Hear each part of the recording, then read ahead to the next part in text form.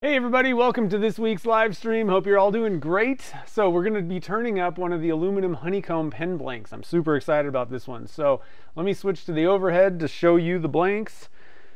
Here, they, this is what we got. We're going to go for a fountain pen junior. I, to be honest, I don't even know what name this kit is. Um, I had it in my drawer. It's one of the junior variants, um, and it looks pretty awesome. I'm thinking it's going to be cool. And one of the cool things about the junior series of, of kits, you can swap out uh, the nib section. So you could go for a fountain or you can just stick a ballpoint um, or, you know, roller ball, I mean, uh, nib section in there. And so they're, you know, as long as it's the same, you know, plating, um, you can swap them out and you're good to go. So it's pretty sweet. So I hope, like I said, everybody's doing good today. Uh, we're still getting snow in the Sierras. It has been a pretty unprecedented uh, winter. I, am just going to call it, I mean, ever since December, we've been getting slammed with snow. So it's been pretty, pretty nice, also kind of a pain. but uh, hopefully you guys are staying warm where you're at and it's not getting too snowy or uh, crazy weather. I don't know. The weather patterns just keep getting weirder. So anyway, I'm pretty excited to turn this thing up. Uh, we have some blanks. Uh, the rest of the blanks are ready to rock. We did some uh, of the same ones that, that we're going to turn today. And then we also made a batch of, and I didn't clean these up uh, completely. We made a batch that had blue, kind of a greenish, uh, like the, the dark green in it, and then the gold, the 15, uh, 14 karat gold. And you can kind of see, it looks like the, the 14 karat gold kind of fell to the bottom quite a bit. So I, that's something that I really wasn't expecting, but I think there's still some gold chunks, you know, strewn throughout. It just kind of looks like it all settled. So that's something to keep in mind if you're going to be using that, uh, the 14 karat nugget, I think is what it's called. Uh, 14 karat nugget gold. Which way do I turn it? Um, for my candy, um, it may be a little bit heavier uh, than, than other micas and may settle out a little bit more. Um, so in that case, you know, what you want to do is, um, you know, wait a little bit longer, um, you know, for a higher temperature before you start, you know, swirling and pouring everything together.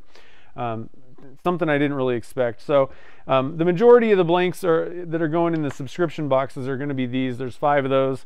And then I think we got like two or three other people um, still going in the, the subscription boxes. So a few people will get these, but I think they're going to turn out pretty awesome. Um, like I said, they don't look very good because I didn't um, sand and, and like, you know, like buff these up. But uh, I think they're going to turn out pretty awesome in the end. Um, that blue and the dark green, I think, is really going to be kind of a neat uh, combination. It, it's not showing through um, on the blanks right now, but I think it's going to look pretty cool. Um, so I had to do a little bit of extra, a little extra CA glue work with these blanks. For some reason, and I don't, there's a couple things that come to mind.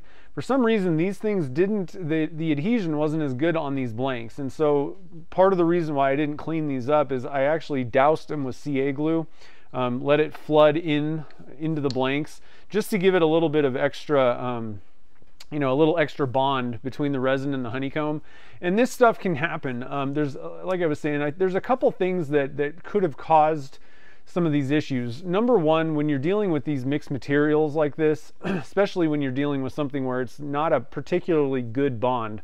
So, you know, mixed materials could be anything, resin and wood, resin and honeycomb, um, whatever it may be.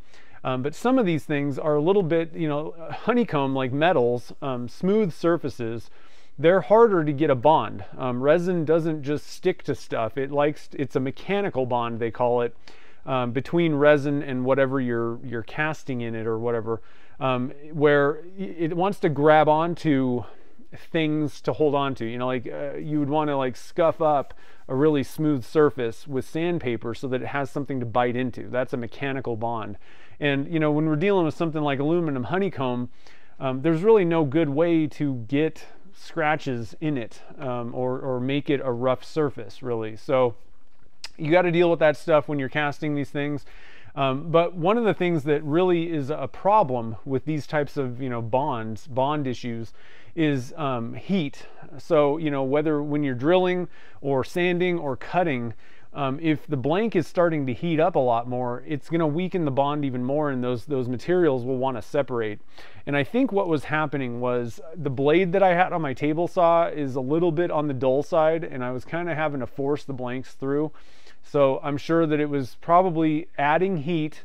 And then the other thing is if, if it's a dull blade, um, it's kind of really putting a lot of stress on you know the blank and those those joints between you know where the resin and the the, the honeycomb is.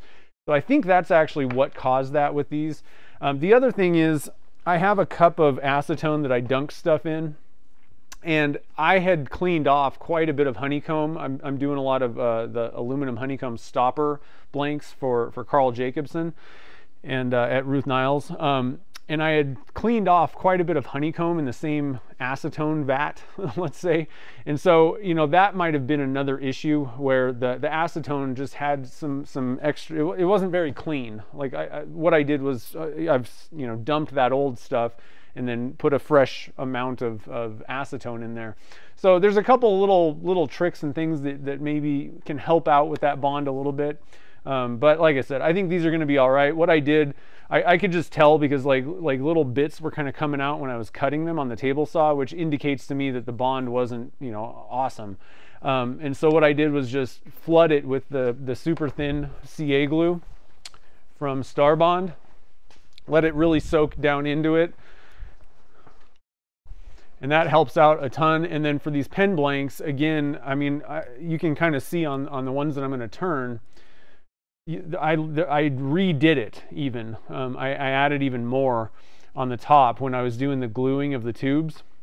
And so um, when I'm gluing tubes in also, the first thing I do is douse the inside of the blank with this thin CA and that's gonna you know fill in around the hole but it's also gonna seep into any little cracks or anything that, that might be um, on the inside and then I also even doused it on the outside. So I just wanted to let everybody know, you know, they're, they're, when you're dealing with these types of materials, there's, there's a few things that can go wrong, let's say.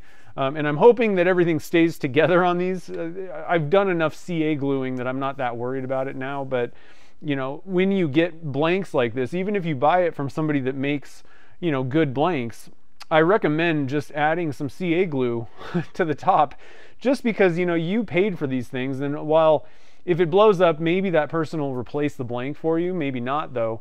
Um, but do you really want to have to contact them and go through the hassle of, of getting another blank when you could just you know add a little CA glue and probably get through the turning so um, it just you know makes things a little bit easier if you can take some steps to add a little insurance to your blanks um, so that you can get through it with no problems so let me stop and see what's happening here there's a lot of people in here. Wow. There's only about three or four people when we first started. So Mike McEwen was here first. Nice. Uh, let's see here. And I tried to get, I actually was going to get started early today, and I was about to start the stream, and I'm looking, and my microphone wasn't being picked up, so I had to reset the microphone. Never on time, no matter what I try to do, even when I'm ready. Uh, let's see here. Oh, the internet. Oh, man. No fun when the internet goes out. Uh, let's see. Lots of people here. Wow. Just checking to see if anybody had questions or any anyone. Uh, so what are you guys working on? Is anybody doing anything kind of cool? Anything different? Um, again, it's kind of the new year. Is anybody working on something that they haven't worked on before? Uh, let me know in the comments. I'm gonna. I got my phone up, so I'll be keeping my eye on the the comments over there. So let's switch over to the not that view, this view. I'm gonna bring my bottle of CA glue just in case we run into some issues.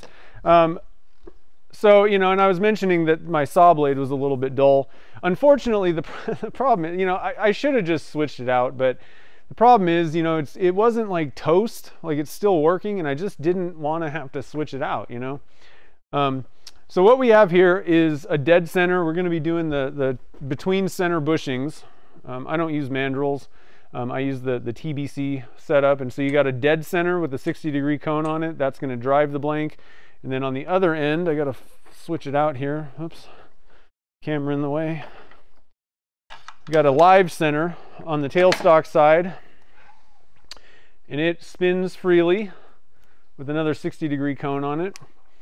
And let's see here. Let's start with the cap portion. put that guy on there. Get this thing ready. And let's see here. I'm going to turn on my phone so I can see what's happening here. Oh, and uh, real quick, I was going to put a link to the, there's a link in the description already, but if anybody wants to uh, pick up aluminum honeycomb to make your own blanks, I sell it on my website. We're, we're stocked up. We got tons. So, we're, oh, working on a chef knife. That's awesome. That is a project that I would like to do sometime is have you know a blacksmith actually make you know blades for me and uh, and make my wife some knives. That's a cool project because everybody gets to use those. Not just a, a gift for someone else. Like we all you know we all use knives. We have these we have a set of knives and they just aren't really comfortable in my hand and we've had them for a while. They're kind of like the disposable ones. Not very awesome. So i want to make my own with some handles. That'd be cool. Someday. Let me get my phone. You're watching YouTube. Steve's watching YouTube today. but that's not new. Williams here. Okay, so I'm going to turn on my dust collector. I'm going to be using a negative rake cutter on an Easy-Wood tool handle. I think this is a new cutter too, so that's nice. So anyway, like I was saying, I'm, i was mentioning uh, the, the blades you know, dull blades on your cutting tools, not awesome. Now, one, one thing that will, let me, let me turn this off because I feel like I'm yelling.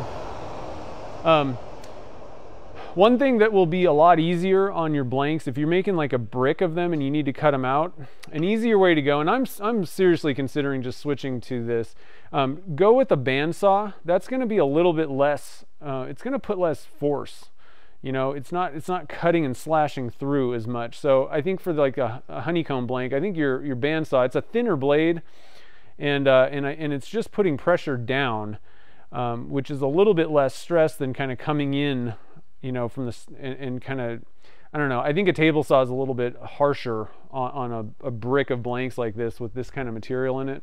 So I might actually just switch over to the bandsaw. One of the reasons I don't use the bandsaw is because my table saw leaves a cleaner cut. But you know, if I got to go through and, and do a bunch of extra work on it, I got to sand it and do all that anyway. So um, I think you're better off just starting off with a bandsaw in the first place, probably.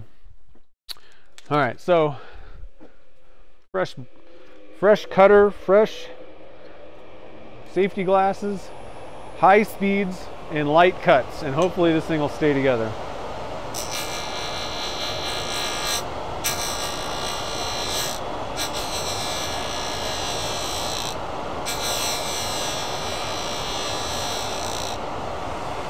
So far so good. But um, I think the, the hardest part about turning these things, where, where you, you're probably, there's two times where it's going to be the worst um, part of turning this, and, and it's going to be when you're knocking the corners off because there's a lot of force being applied. It's kind of just slapping the, the, the cutter, you know? And uh, that's quite a bit of force being exuded onto the, the joints in there. So, you know, be take your time when you're getting the, the corners cut off. You can even just sand the corners down. That'll kind of help out a little bit. Um, and then the other time is at the very end when there's just very little material left. Um, a lot of times you'll get little chip outs and stuff with these kind of blanks. So um, usually the middle part of the turning is not as bad. I don't, I find.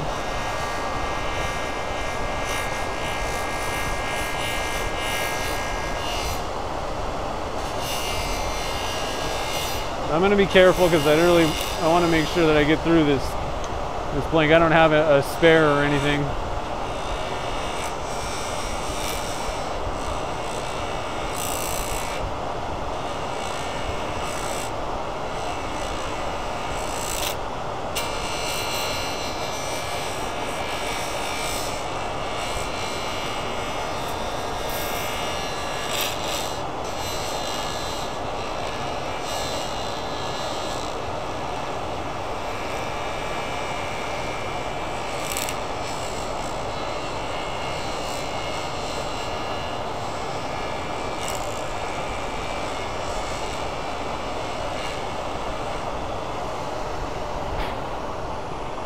You can always add even more CA glue as you go just to kind of try and keep all the parts and stuff together. I'm being a little bit overly cautious on this because I really haven't ever had a blank come apart completely on me with these, but like I said, I, I could notice when I was just cutting these and doing that that there was these ones were a little bit less less awesome of a, a, a, bond between the resin and the um, resin and the honeycomb.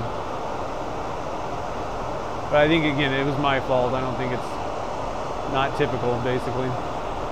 Let's see, who is here? Is Brian here? Hey, Brian's here. What's up, man?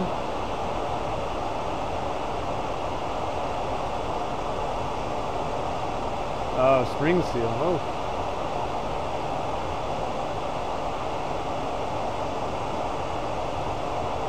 David just finished a dyed pizza cutter. That's fun. Oh, your garage is cold. It's no fun working in freezing temperatures at all.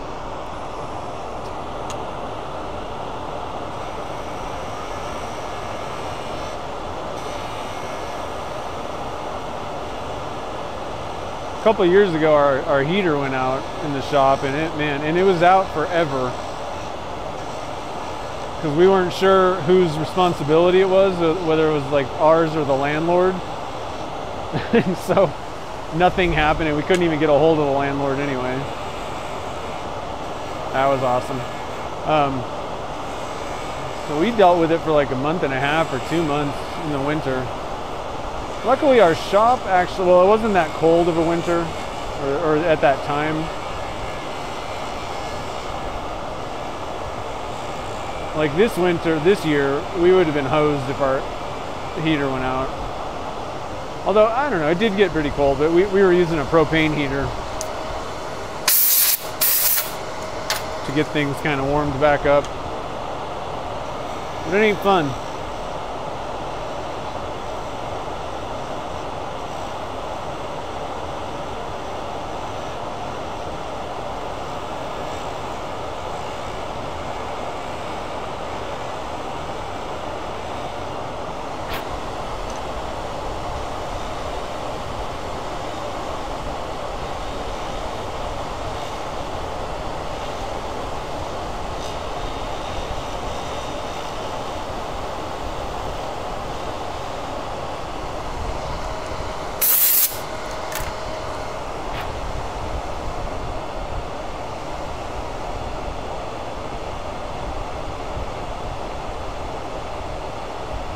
you can hear she's doing stuff she's not supposed to be doing. That's funny.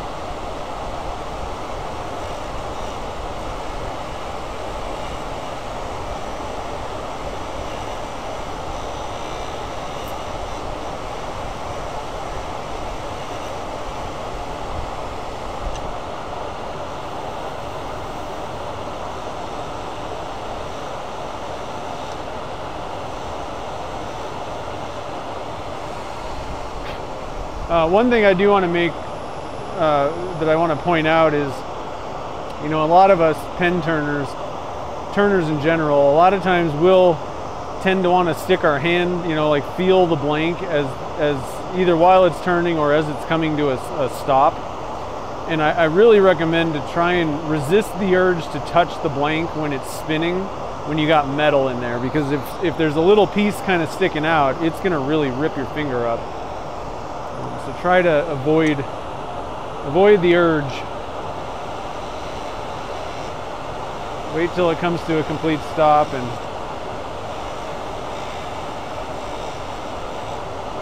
keep the band-aids in the band-aid drawer.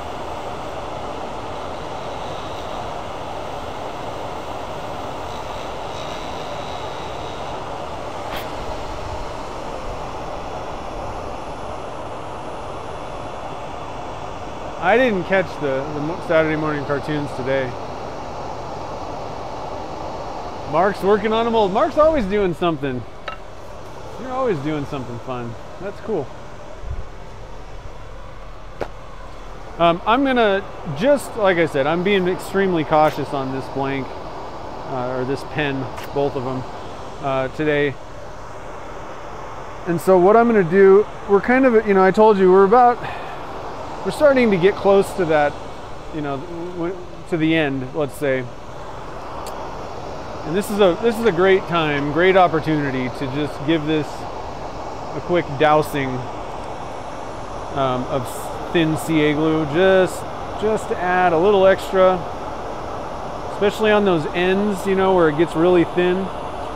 Um, adding a little bit of this super thin CA just adds a little bit of extra. If there are any areas, you know, where, where the, the bond between the aluminum honeycomb and the resin is not good, there's a little gap or something, it's just weak. Um, adding that CA glue, that stuff, the super thin stuff, will work its way into pretty much any little tiny crevice. So it just kind of adds a little bit of insurance.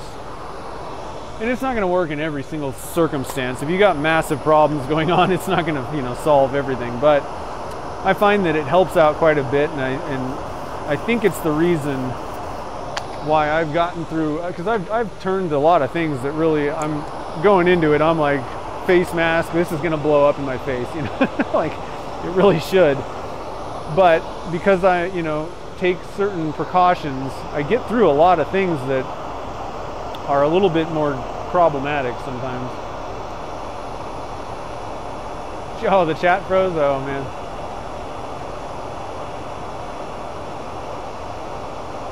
Oh yeah, I know. We're just getting dumped on on the west coast. I've, I haven't seen this much snow just continually all winter, like from December through January, and I don't know. I, don't, I can't even remember the last time we had that. It's good because I like snowboarding, but it's also pretty soggy here too. I actually got to go snowboarding finally on Thursday.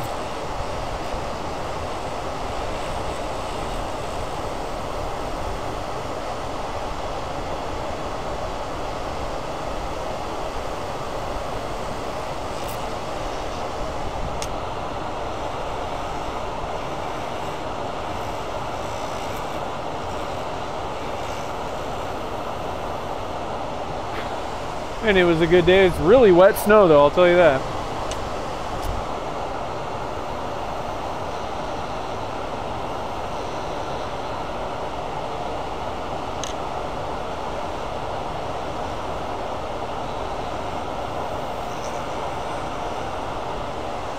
They refer to the, the snow that falls in the Sierras here, Sierra cement. Like compared to Colorado, um, it's a much drier snow. I think it's because of the colder temperatures. Um, and so, but man, this stuff is like the epitome of Sierra cement that we got right now. It's super wet. So everything's looking good so far. No, no issues. Uh, and one thing to note also, uh, you can turn this aluminum honeycomb. You can use carbide. I, I recommend going with the negative rake. It just kind of, it works pretty well. Uh, you can use the standard carbide. Um, that's not a problem either. Um, these are just a little bit less aggressive. So, you know, with the resins and stuff, it, it's really good with that kind of thing. Uh, but you can also use high-speed steel uh, to turn this stuff. Um, it's not going to be a problem. So whatever tools you have, you can turn aluminum with it. Especially how thin this stuff is, you know, it's just a really thin piece of aluminum. Now there is going to be a little bit, you'll, you'll feel it. it it's going to feel a little different. It's like a harder, you know, kind of more abrasive surface than than the resin is. Um, and so for the negative rakes, it'll maybe bounce a little bit. You'll get a little bit of bumpiness that you'll feel. Um, but you know, just kind of go back over it and clean it up, and everything's good. Um, with the more aggressive cuts, cutters, you know, the normal standard cutters, it'll probably handle it better, but you run more risk of it tearing stuff out with the standard cutters. You know, it'll it'll cut it, shear it pretty well, but it can also rip stuff out if you're not careful. A little bit easier than the negative rakes.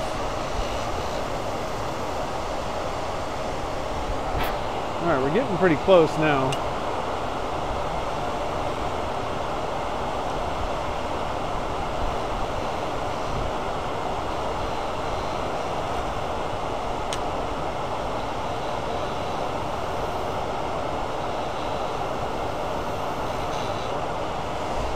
Stop and look at this, see what the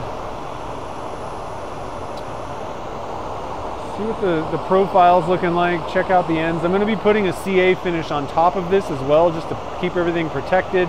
Um, it'll be easier to kind of polish up and get a nice even sheen across, you know, both the materials. I wanna make sure that we're good to go on the ends.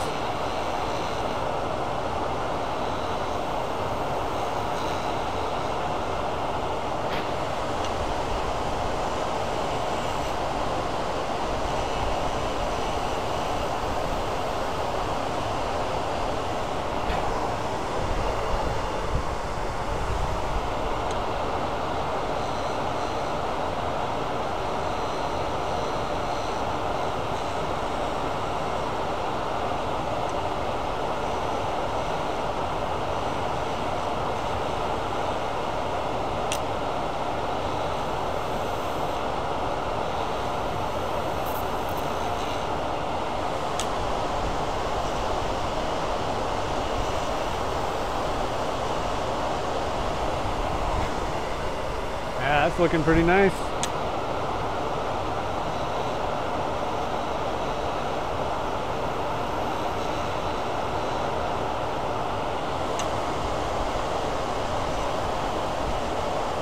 Okay. Get you guys in a little closer here. Straight on sideways.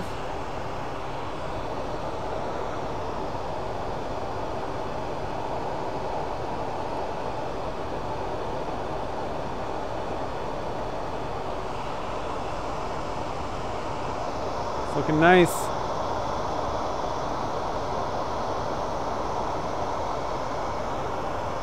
All right, we made it through without any explosions, so that's always good. Now it's time to do a little bit of sanding. So I took one little quick pass, one last really light pass, so I've cleaned it up pretty well. I think we can start at 400 grit. I don't think that's gonna be too tall an order there. The higher the grit that you can start at, if you can get it nice and smooth off the tool, um, you know, one, it's just less work that you got to do, you know, with the sanding, but it's also just a little bit easier because you have less, you know, coarse grits to sand out. And it just, sometimes it's easy to miss some stuff. So the higher you can start with your sandpaper, the better off you're going to be. It's going to make your life a lot easier.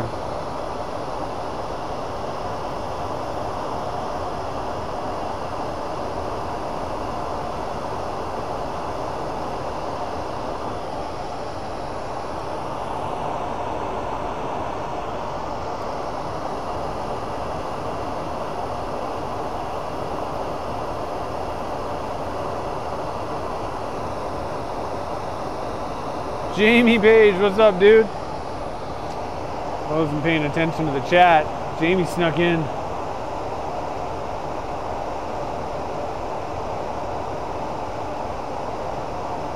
Well, that's cool. Um, online symposium. Nice. That's awesome. Sunny and 52. Yeah, It's a little chilly outside here. Maybe, we might be around 35, 40, but I think it might, I don't know if it's snowing yet or not. I know it's snowing in the mountains right now.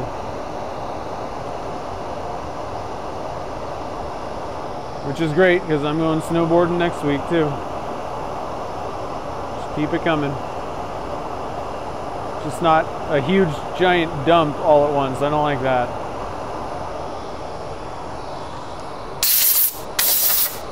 I'll take a foot of powder a week, preferably if it would just dump it on Wednesday night. That would be great. So that it's ready for me on Thursday.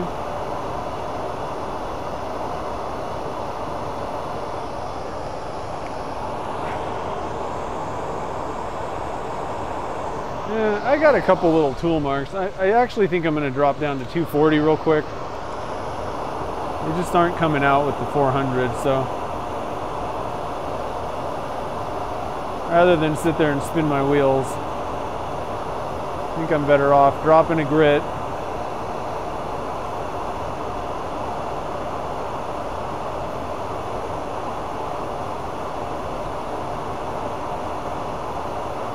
getting these pesky tool marks out.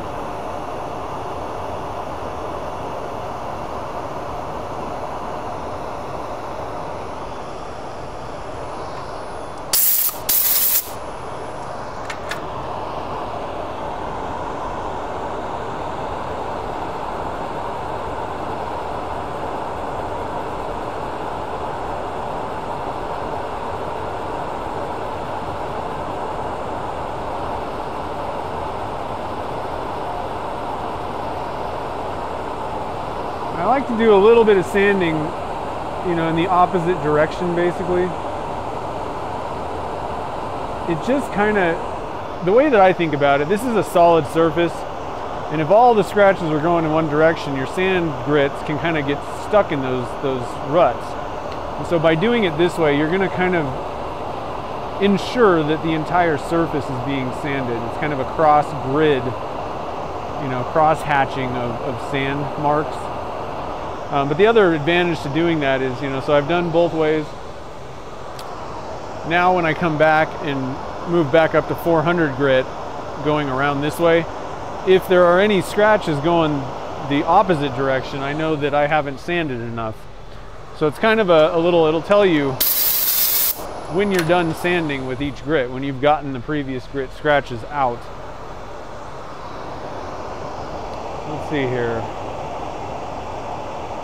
That's it, I'm moving to Florida.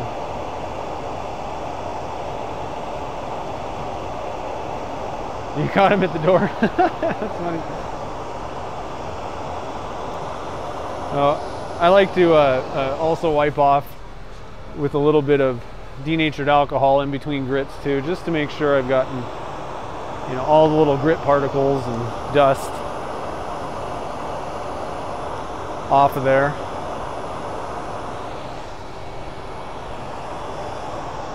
And you can wet sand the whole way through if you want. That's actually a pretty decent way to go. The, my problem is I don't really want to get this wet right now. I'm going to be putting a CA finish on. And I also, another thing you can do, instead of wet sanding, you could use like wax or, or different things. The problem is though, if you're going to be putting a finish on, you don't want to be using oils and waxes and things.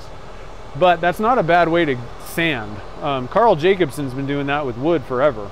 Um, he uses the, the it's like an oil oil wax mixture thing um, just on sandpaper and that kills the dust in the you know you know you don't have that sanding dust coming off. Anything that'll hold that on adds a little lubrication so that's not a bad way to go either.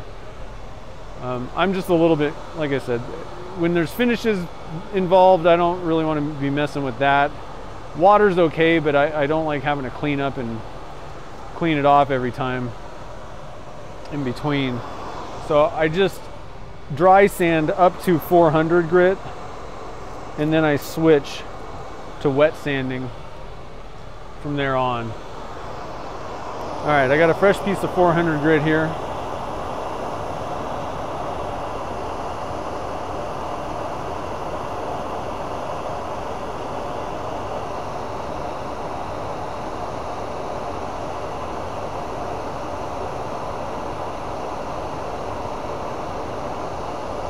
Yeah, I think, yeah, Thursday should be good. Actually, we're, we're supposed to get some Tuesday to Wednesday um, up in the mountains. I think it's going to be a light, very light dusting, but hoping that it just gives a, a little fresher, you know, dro drops a little bit of freshy on the on the mountains, and then Thursday is going to be a great day up there. I think we're supposed to be getting a decent amount up in Tahoe today, maybe a foot or something like that.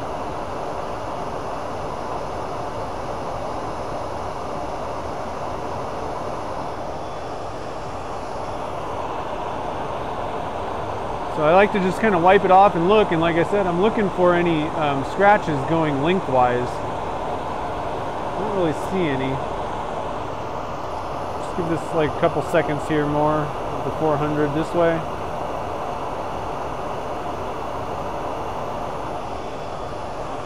And then I'm gonna do again We'll go lengthwise.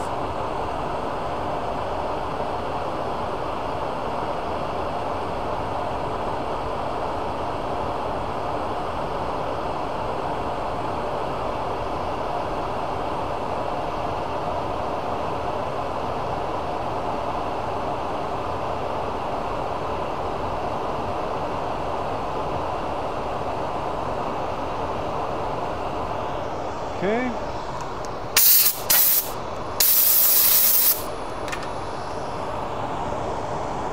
And that's looking pretty good. Uh, I like to just hit it. I have this 500 grit pad. I like to just kind of give it a little bit with that. Just, it can kind of get in, fill in areas. It's a kind of a non-aggressive 500 just to kind of top it off. And then I'm gonna, once again, hit it with some denatured alcohol before we put our CA finish on.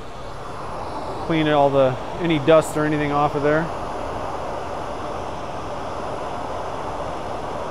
Get everything nice and clean. Man, that's looking pretty good. I'm, I'm pretty happy with that. Good colors. I like that red and red and purple. Uh, and we also have a little bit of silver in there, which kind of gets, well, it's, it's poking out here and there. We got some silver swirls there and there. It's a really nice combination of colors.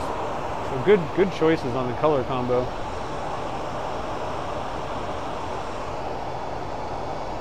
So my first step, I'm gonna, again, I'm gonna hit it with some of that super thin.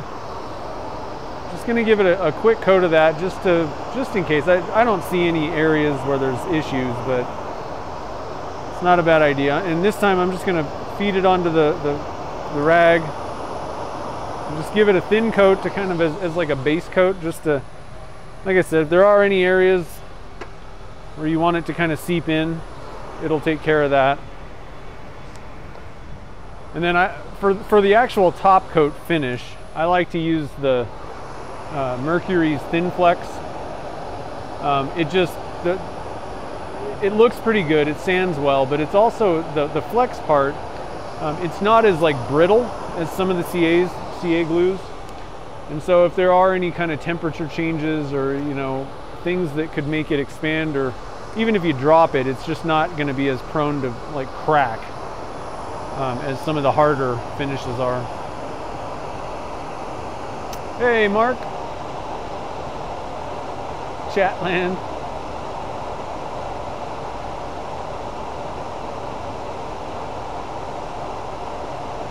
Oh, you fell on Christmas Eve. My dad did a couple years ago.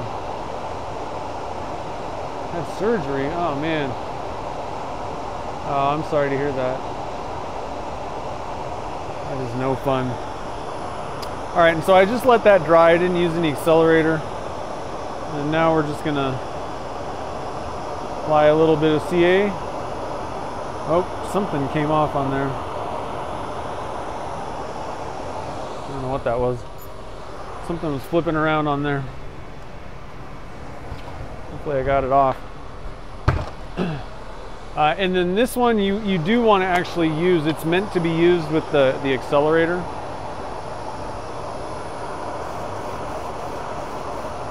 So I give it a good coating with the accelerator and it's already looking pretty fabulous. Oh, we got something funky in there.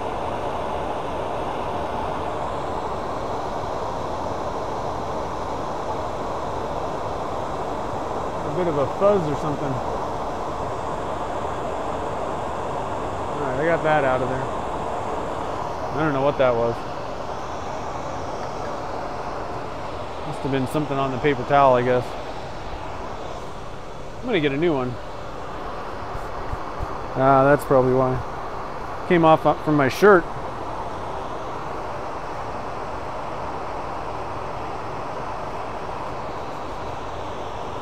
All right, so we got one coat on. I'm gonna probably put about four or five.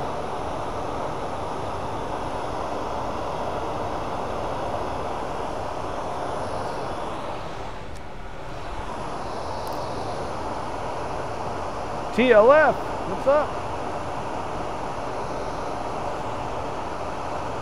Oh, the patella tendon.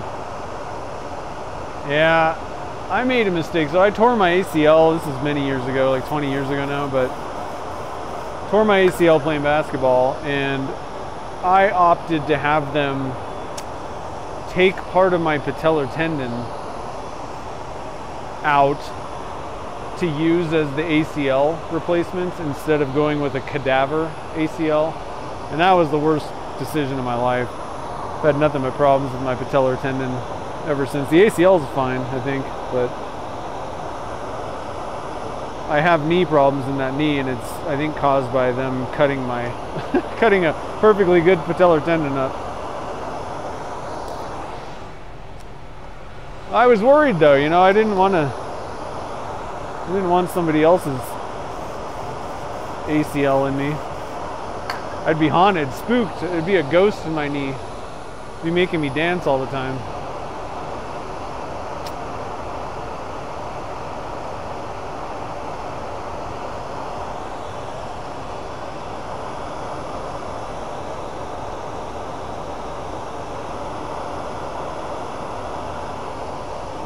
I think we got like three, maybe four coats on at this point.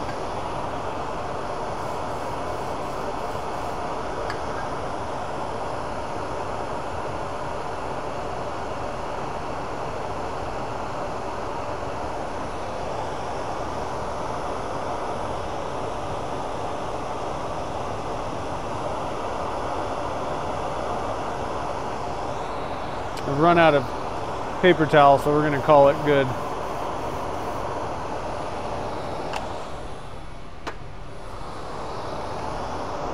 And then I would recommend, you know, letting this sit for like 30 minutes, an hour. Um, it's it's gonna harden up even more. You can get away with it. I do it all the time on the streams, and it's they turn out fine. But I think it's just gonna give you the best. You know, once it's really hardened up, it's gonna be it'll sand a little bit easier for you. It'll be harder. Um, so that's what I would recommend when you're doing the finishing. But, you know, it's not that big of a deal either to, to just move forward.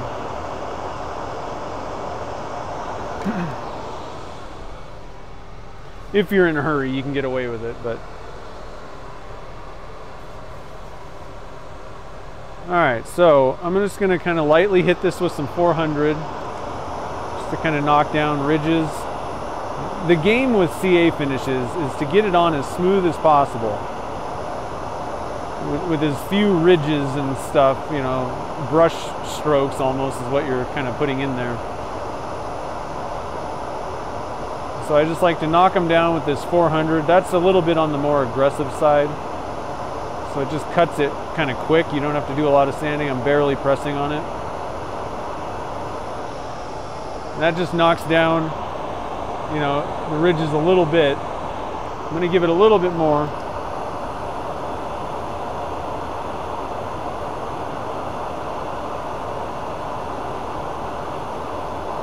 We want our we want the surface to be as smooth as possible. That'll give you the best gloss. All right, and then from there, we're just gonna move up to uh, wet sanding. Actually, I need to get a new cup of water. This thing's been sitting here for I don't know how many weeks.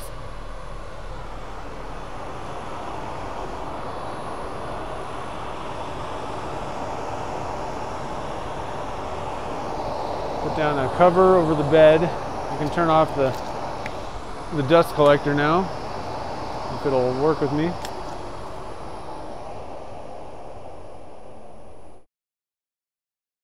Oh, thanks, Donna. Yeah, it was good good color choices by the by the chat. So let me go replace the water. Um, and, and, one thing that I actually I wanted to kind of mention, uh, you know, so we just bought a new TV and it's it's like you know a flat screen and all that. And we were kind of looking to just kind of double checking how you clean it, how do you you know wash it off, and if you're not familiar, you know, with these flat screen TVs, they recommend just using like a, a cloth, just dust it off, and then if you if there's like you know grease smudges or you know something else where you, you need a little bit more than just wiping it with with a dry cloth, um, usually they recommend microfiber towels for that. Um, then they say to, to add water, but they recommend uh, distilled water, which I thought was interesting. And basically, the reason for that is they don't want you using tap water because it has sometimes has stuff in it, minerals and things that can scratch the screen. And I was thinking about it like, you know, if you've got hard water, that means you got minerals and junk in your water.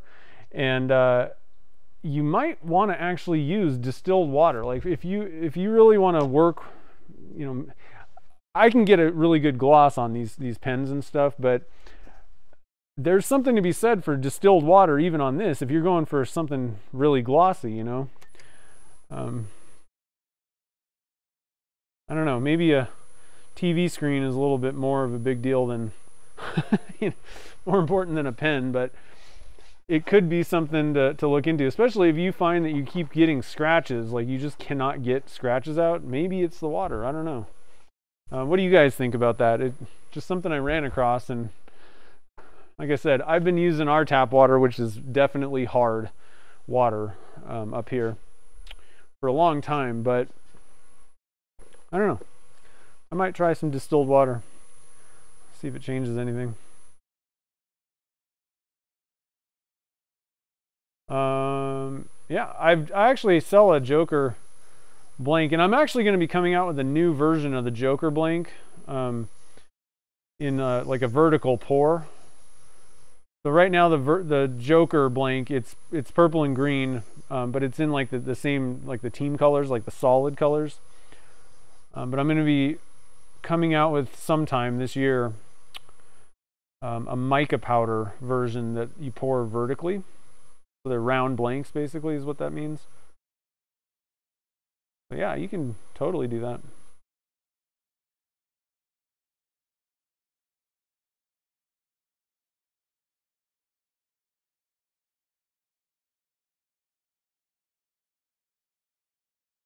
And so this is Zona paper. It's a polishing paper.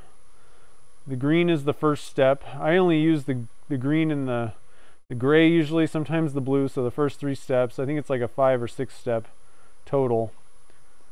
Um, but it's basically the same thing as micromesh, just cheaper. Works great. Less steps, and it does the same job, so that's nice too.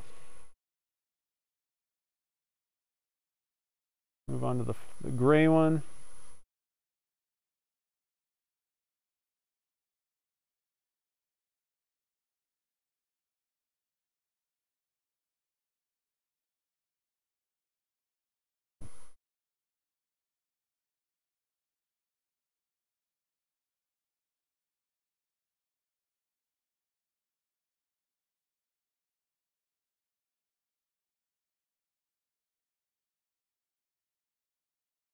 And why not? We'll do the blue too. It sounds like a good idea.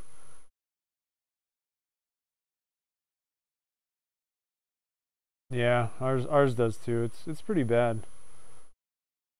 Especially at the shop. Uh, there's it's uh I don't I don't I will not drink the tap water out of here. I don't know what's going. This building's like a hundred years old or who knows what. Um, pretty pretty old and uh, I just don't really trust it. So I don't know. Distilled water might be might be something to think about.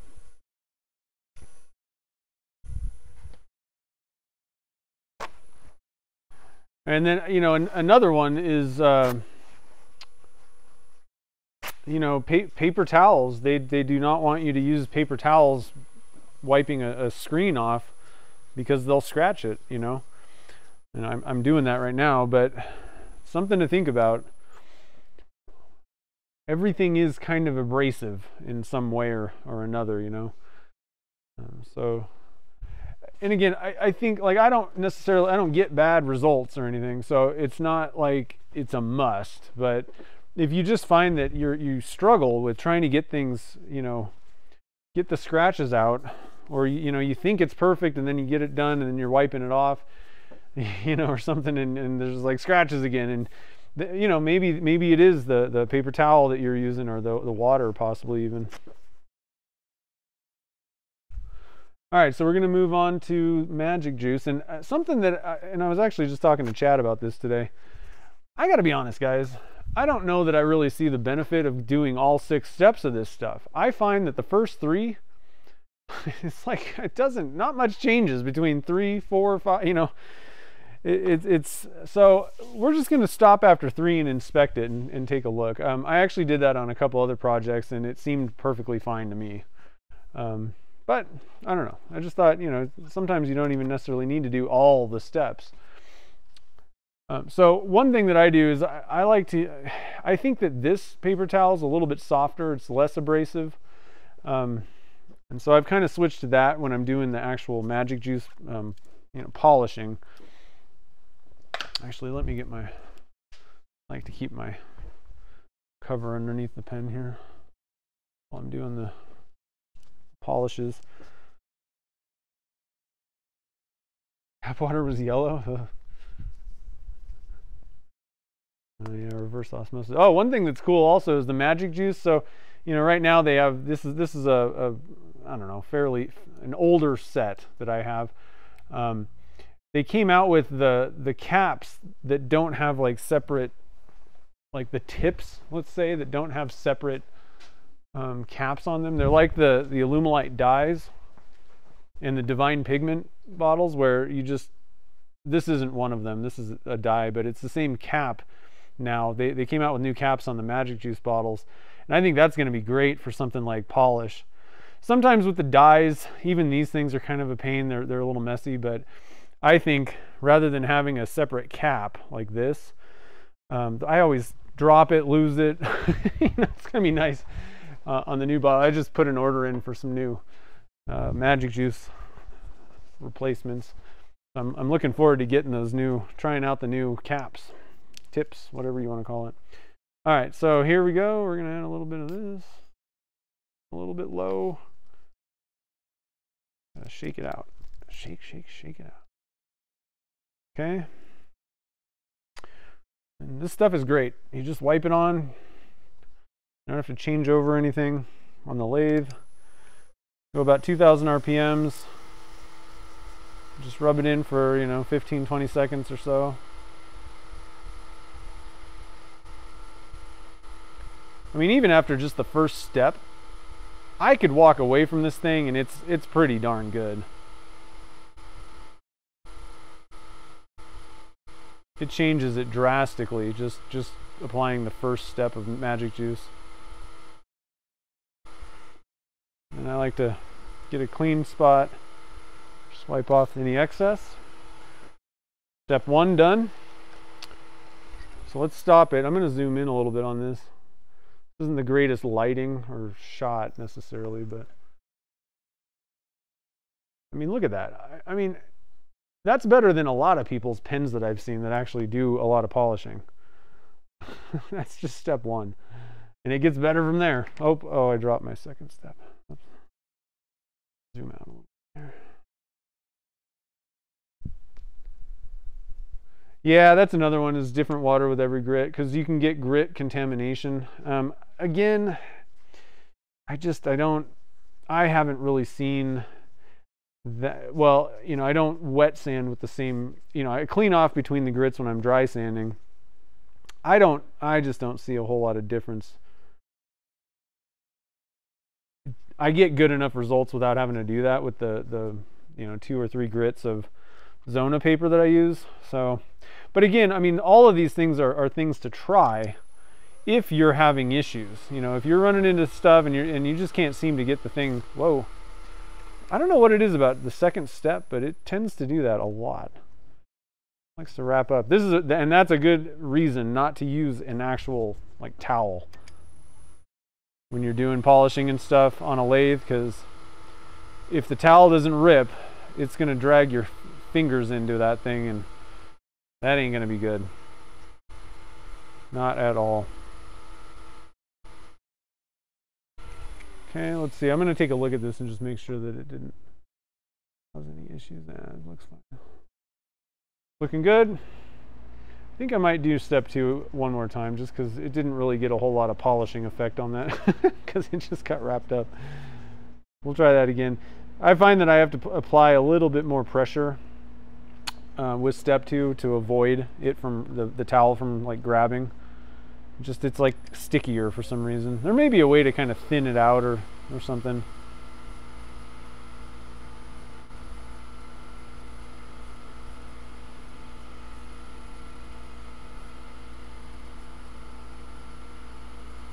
So that doesn't happen with any of the other steps.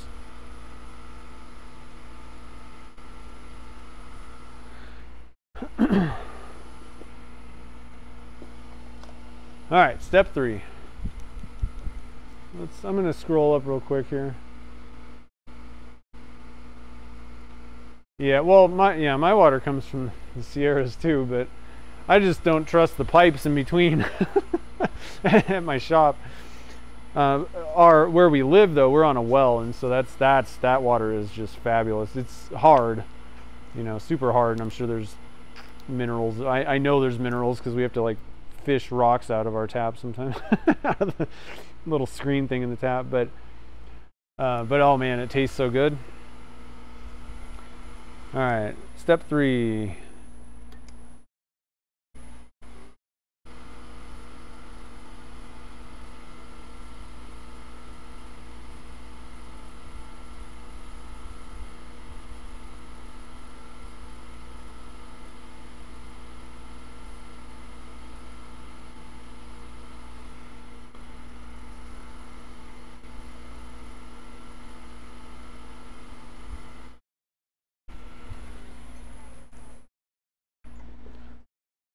Yeah, I just I don't really see a whole lot of reason to keep going to to you know on these steps. Uh, it just it's not really adding a lot. I mean that's glossy. you know, I think that that's probably good enough.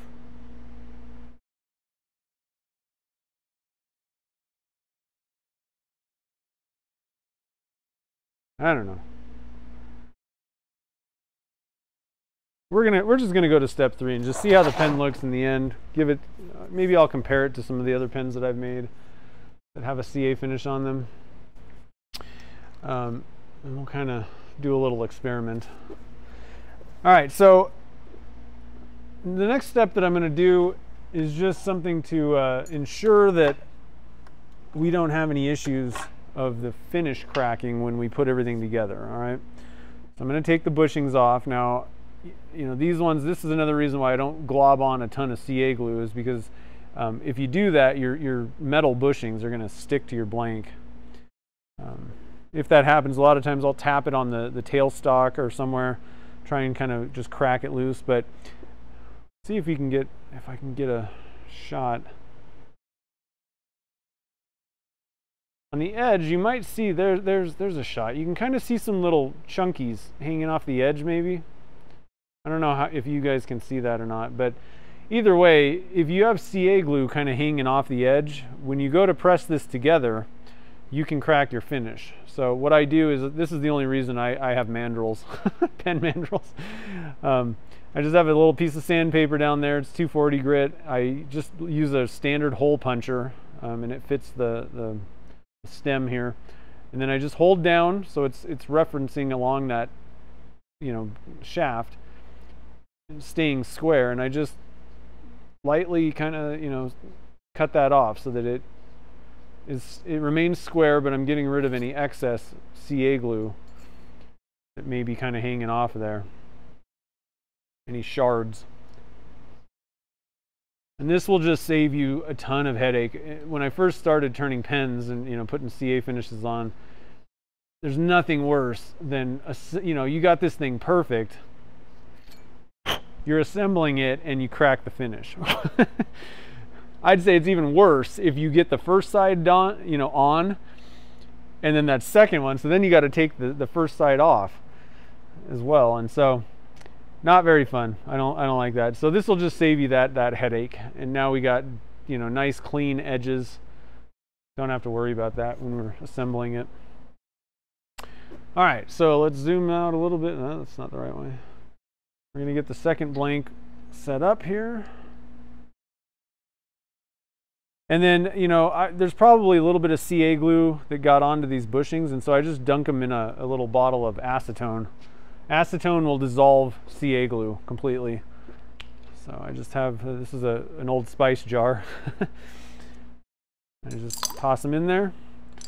Uh, they don't even have to stay in there that long. It depends on how much CA glue is on there, but um, you know, keep them in there for like 30 minutes or so at the most. Should probably dissolve everything and you'll be good to go. All right, let's take a break, get some water, check out the comments, see what you guys are up to. Move this magic juice. Tell you what though, I am super impressed with magic juice. That stuff, it's a cheap option, it's easy, and it just works. it produces good results. That's that's what that's everything that you want in a product, you know. Uh, David uses distilled water. Nice. All right, so let's see here. You haven't seen a ShamWow? I know. I actually went out and specifically bought some of those things just because I was like, oh, ShamWow, that'll be kind of funny. Colorado River, yeah. Yep, yep.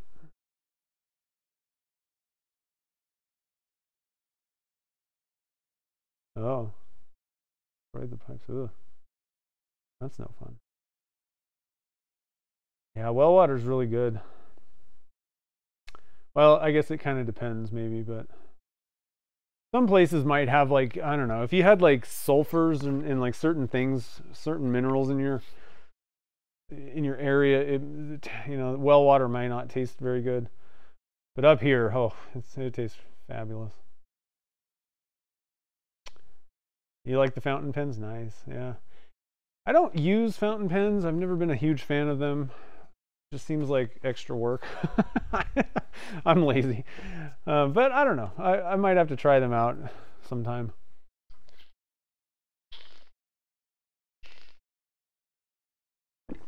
And like I said, this one, this one's nice. The the junior gent or junior, you know, the, all the junior series uh, kits, all the parts are interchangeable. So, you know, you can buy like the fountain kit, but you can also get a, a rollerball nib section and just switch it out. Like you don't have to be stuck with whatever kit you bought.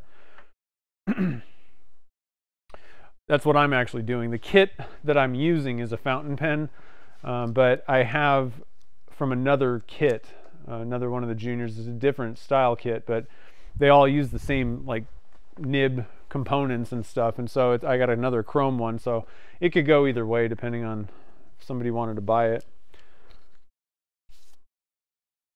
All right, so I think we're ready to go on this second blank. I'm gonna just get this camera situated a little bit so it's not in my way. Maybe zoom in a little. Now again, if, you, if you're just joining, uh, when I was cutting these up, I noticed, and, and there's reasons for this, if you want to go back and, and, and, find out some of the things that I think might have caused some issues, um, I was finding that the bonds in these specific blanks weren't awesome, and I think it had to do with my table saw blade was a little dull and a bunch of factors. I, I, I covered it at the beginning. Um, but I'm, I'm being kind of careful with these blanks just just to make sure and so again you know when you're knocking the corners off, that's a time when you can get chip outs. Um, it, it's more prevalent because you're you're putting more, you're exerting more force. Like there's, it's kind of slapping the blade every time it spins around. And so you know you want high speeds. You know, get this thing going as fast as possible, and then you know take light cuts as you go. And I mean, if it's a blank that you absolutely cannot destroy, like you you do not want it to blow up on you I mean, go take it to the grinder and, grind down the, the corners. Um, that'll kind of ease that transition. And then once you've gotten it round, you know, things are going to go probably pretty well. Um, that's the easiest part. And then when it gets down to, you know, when, when the blank's getting down to close to the end of the turning, that's another time when it gets, it could be a little hairy. There's just not as much material there. And so you want to be careful, you know, extra careful at that time. Uh, and then CA glue is always your friend. Um, you know, hit it with some CA glue just to help reinforce some of those those you know joints between the resin and, and in this case honeycomb. But if you're dealing with materials in your resin that may not have the greatest bond, you know, just just take it easy, be careful, and, and you should be able to get through it no problem. But CA glue, I'm telling you, is the secret. and I use this stuff, the the Starbond super thin. I, I, don't think it really matters what brand necessarily, but you definitely want like this the thinnest viscosity And this is just one that works for me for sure. I've been using it for years. So let's get this thing, the second one going. Hopefully we'll get through this one with no problems and then we'll be good to go. Yeah, it's because, yeah, resin doesn't like smooth surfaces um, of any kind. so whenever you're dealing with a material like that, just, just be cautious, take your time, be, go easy on it.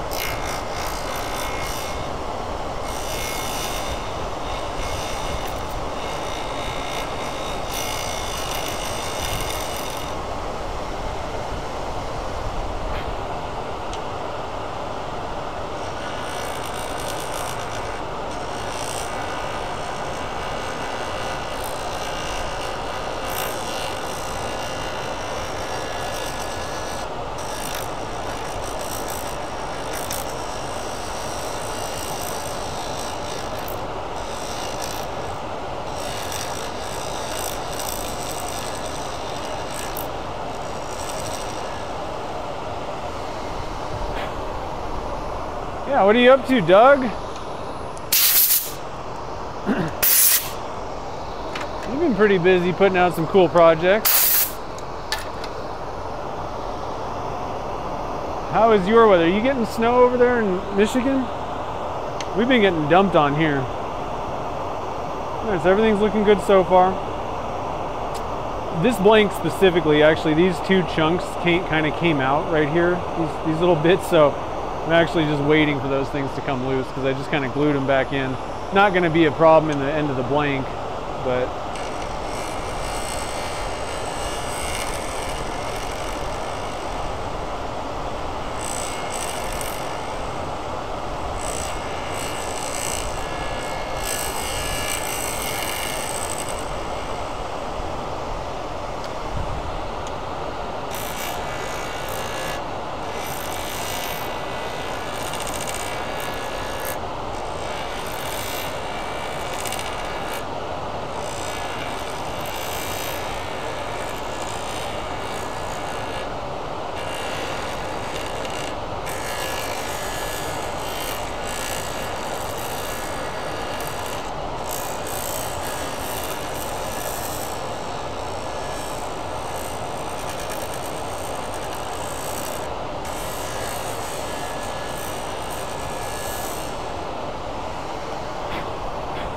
like I said, I'm being extra cautious on these, especially now. I got through one of them. I don't want the second one to blow up.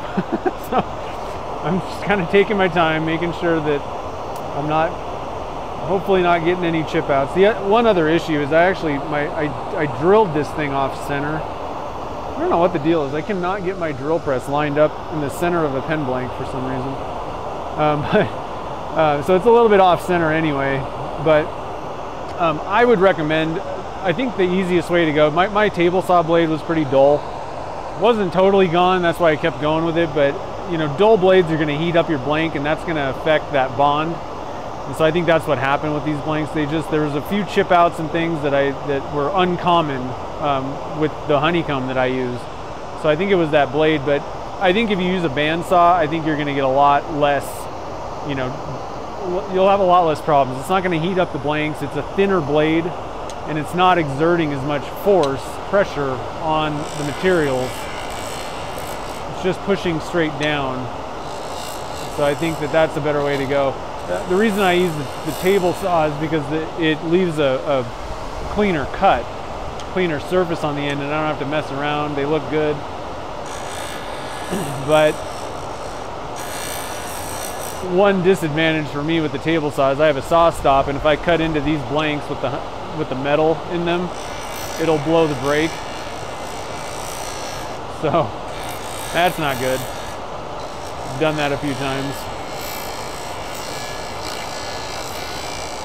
so I got to turn the brake off anyway. And then if, if you know if you have to do extra work and you know like I, I doused the, the blanks with CA glue um, right off the bat once they were cut, just to add a little bit of support, you know, and kind of stabilize the, the, the insides, the joints in between.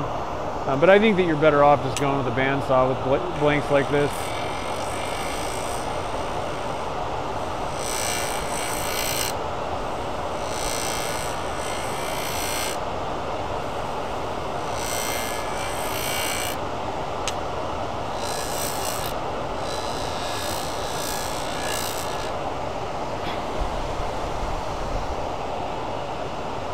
No. Really? We're we're getting all your your cool temperatures and snow out here. It's been pretty pretty crazy winter out here. Very wet.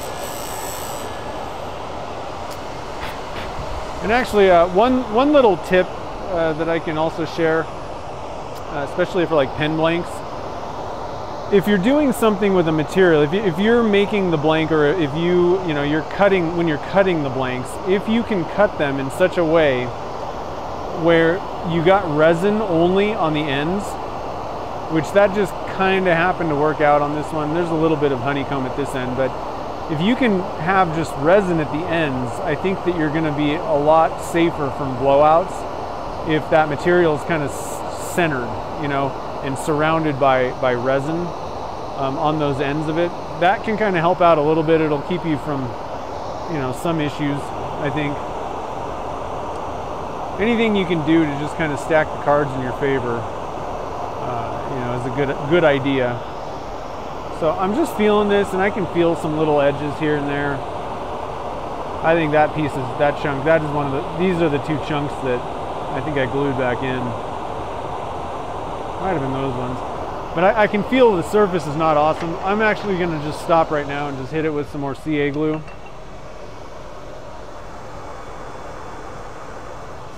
Just for the heck of it.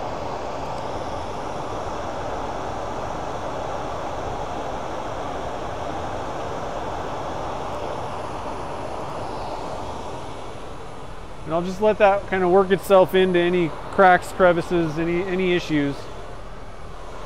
And hopefully it'll just kind of help ensure that I get through this without any explosions.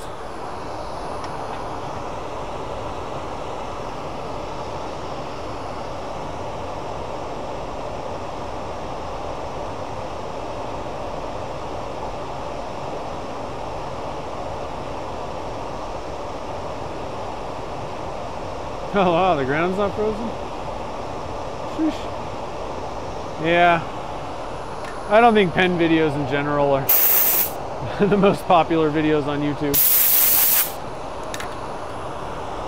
You gotta make a bowl and put resin in there with some wood. I think those are the most popular ones. All right, so speed back up. Actually, I'm, I'm gonna, really quick, I'm gonna douse this with some kind of let that soak in. It should be totally dry, but I'm just going to hit it with some accelerator just so I don't, if there are any parts that are still liquid, can kind of come flying off and get all over your tool rest, and that's just not fun.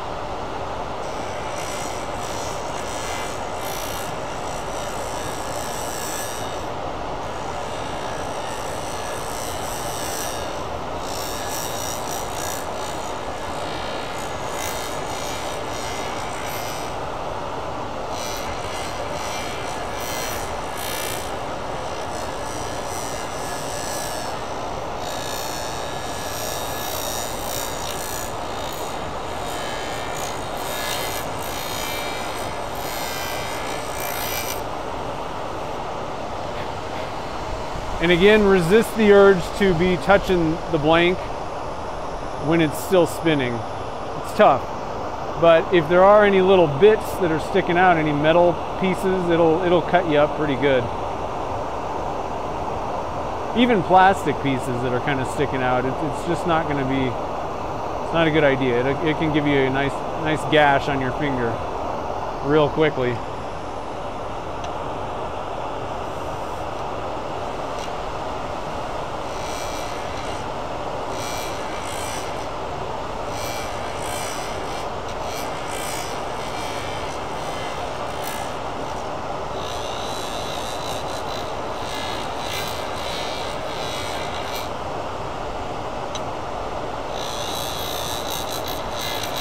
Ah, there we go. We got a chunk. I knew that one didn't didn't want to stay in there. There's a couple of these pieces that just don't want to stay. But I think we can kind of turn that away for the most part and repair it. I don't know if you guys did you guys see that? We might be able to find that piece and glue it back in even. That's another way to, to kind of fix. That might be kind of tough to get. Let me see if I can find that chunk. It hit me, so it's on the ground here somewhere.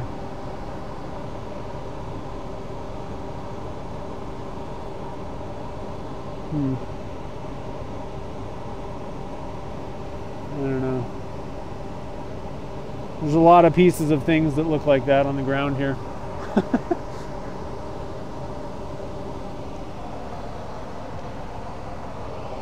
I think we'll just keep going and I'll, I'll come up with a fix for it.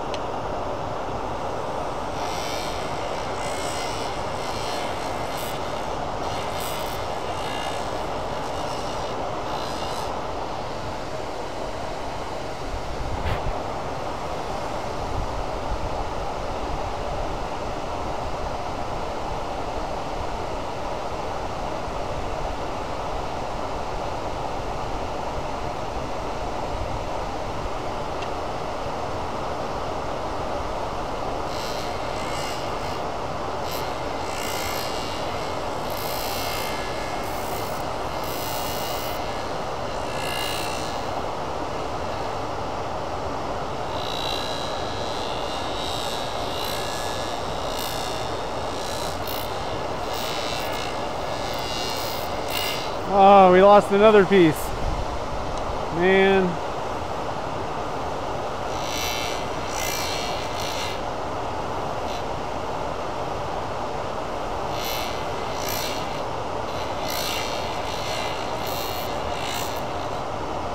I have to do some repairs.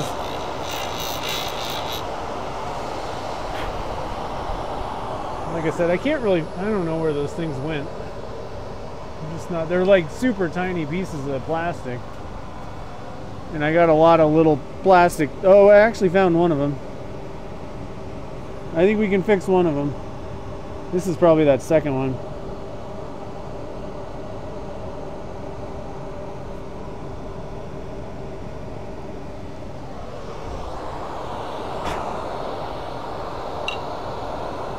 If you can find the piece, then it, it's not that big of a deal. You can just glue it back in.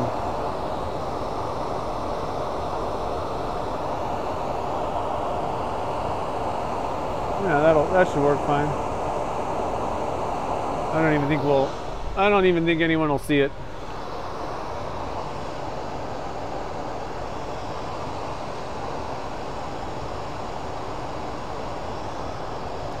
Is it focusing right?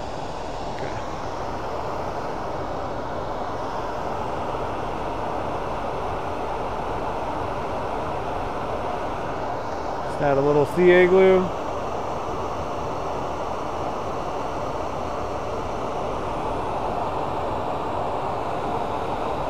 I think that's the wrong way. Glued it to my finger.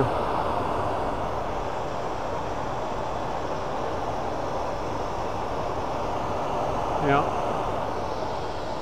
That didn't work out so good.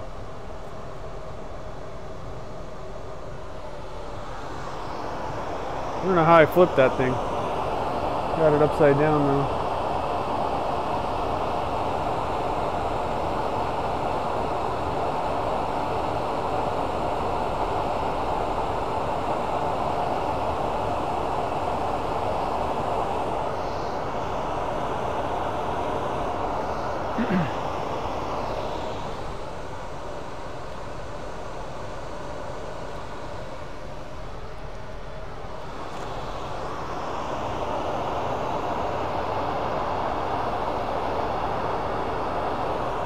All right.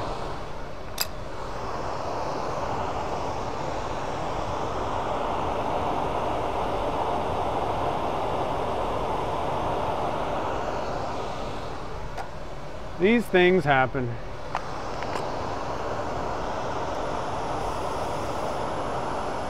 Give it a little bit of accelerator and then we'll move back. Hopefully it won't come back out again.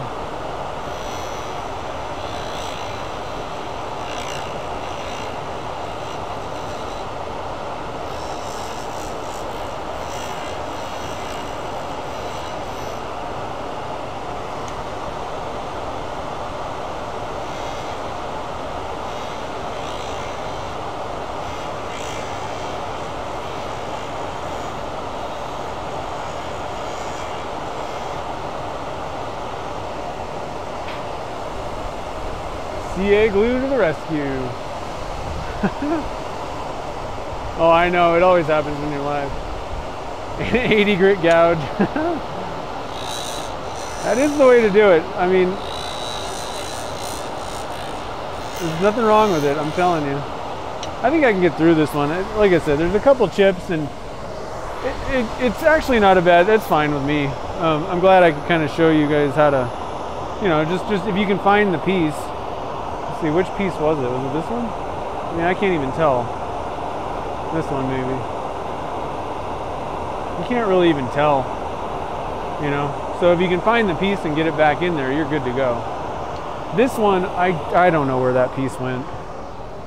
And I've been turning it now, so I, I can't do much uh, to it. But we can kind of fill that in with a little bit of CA glue and, and just kind of like add a little bit of mica powder to it so we'll, we'll, we'll try to give that a fix as well.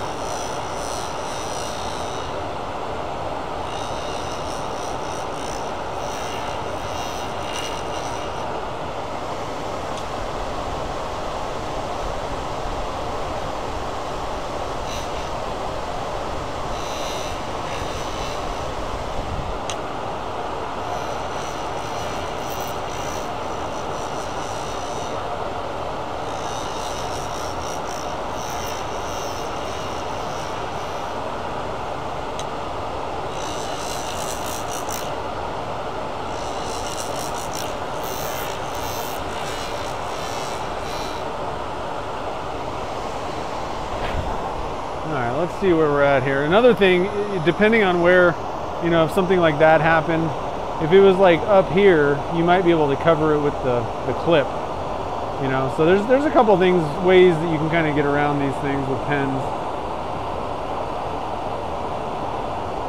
I think everything else is all right. Just kind of feeling this. Um, I think I am going to douse it with some more CA glue real quick just to kind of, there's a couple areas where I can kind of feel a little bit of a ridge. So if we can, I don't know, just try to stack the cards in our favor a little bit here. Always tends to, to explode at the end.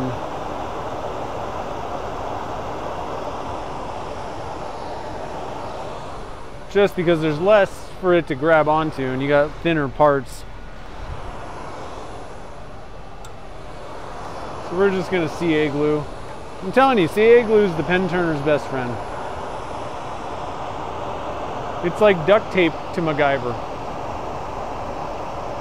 Yeah, Kim said it, yep, it's the duct tape turn. Yeah, there's another piece. I couldn't find it. I got tons of, I mean, trying to find a, a piece of plastic in this. and it was a pretty small one. I mean, it's just it's just a bunch of tiny little pieces of plastic on my mat. So I just I couldn't find it. I looked, but like I said, it, it, it gives us the opportunity to kind of, you know, try try to kind of fix it a, a, slightly different way. If you can't find the piece or it doesn't fit or you know who knows what, this will give you another another way to deal with it. But I'm gonna wait until we actually get this thing, you know, like down to the bottom. And I mean, there's not a whole lot of problem leaving this the way it is. And I mean, in fact, it's it. I may end up turning this away actually. I could turn this down even further and it might, for the most part, actually just go away. Not even needing any fill.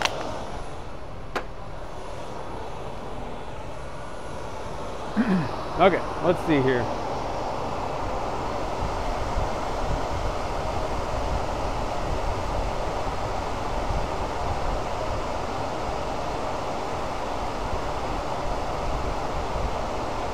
Yeah, when there's a will, definitely.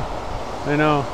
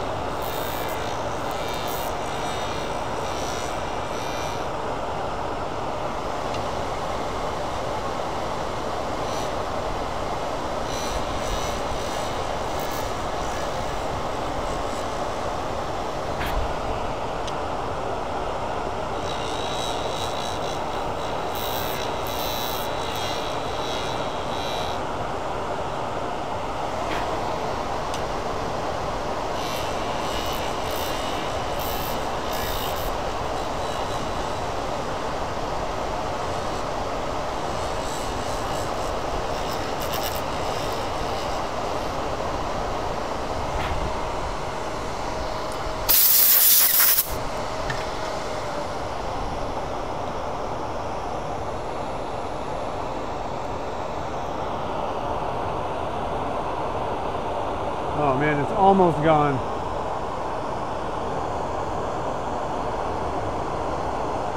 Not yet. We're exposing a little bit of CA glue here, so I'm gonna just hit it with some accelerator. Make sure that's all dried down in there.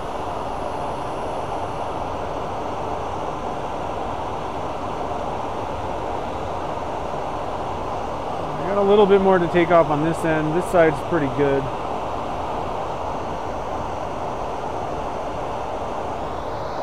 And I can maybe, I got a little bit of material to take away in the middle. The problem is we're starting to get down, you know, like I said, the thinner you go, the more problems you end up having.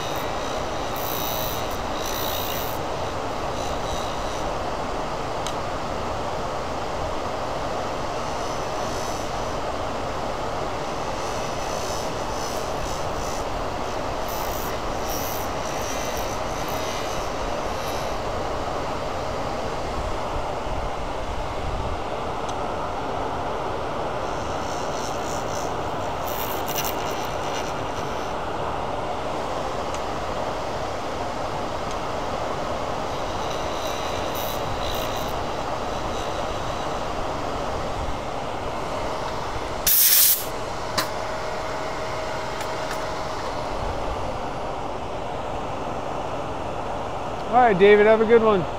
Enjoy the dinner.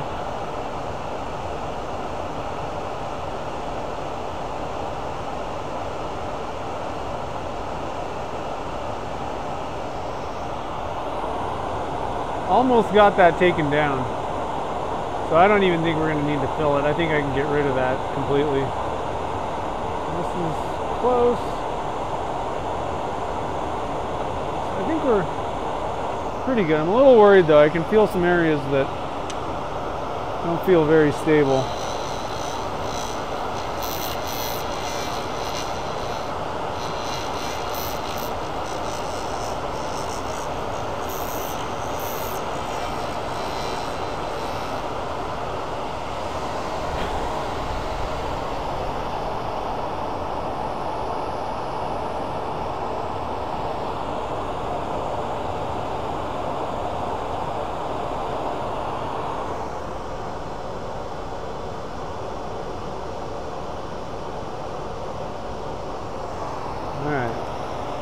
I'm going to say it.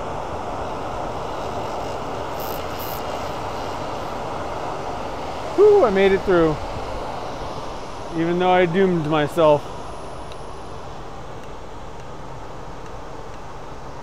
Had a little CA glue on the, the cutter there.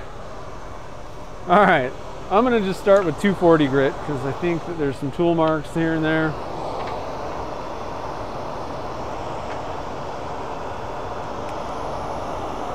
Let's see where we're at here. Dave's here. What's up, man?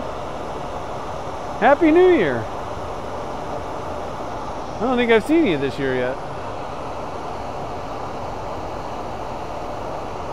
Yeah, I know the, the last last pass. I'll just take one more cut. Gets you every time.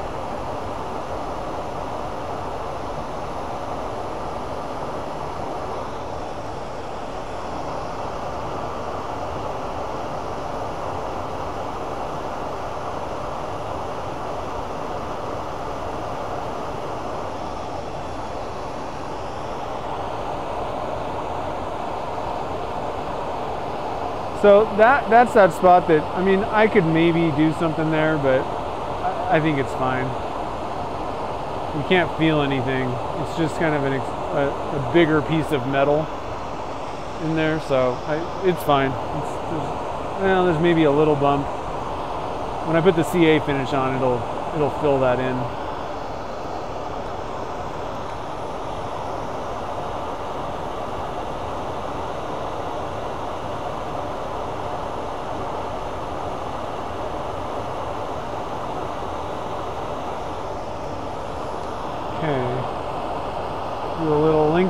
Sanding.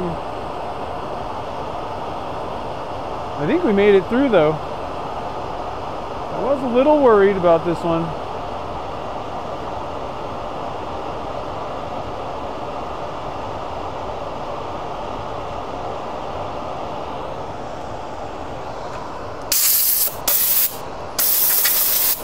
I think we made it through.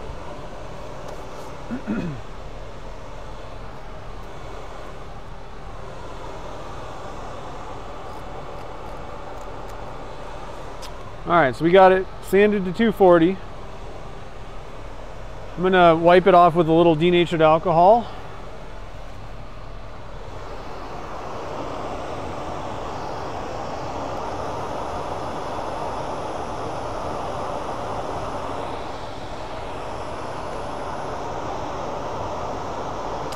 And we'll move up to the 400 grit. Yeah, hit, hit it with a purple Sharpie. That, I might try that. I don't know if I have a purple Sharpie.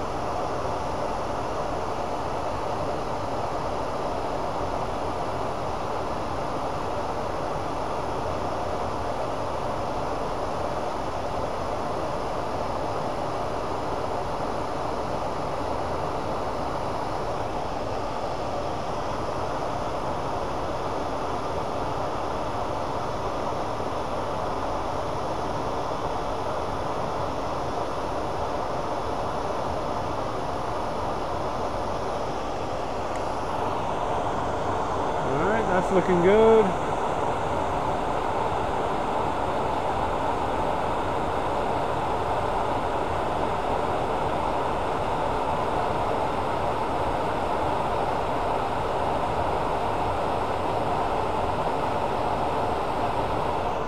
Do a little bit of that.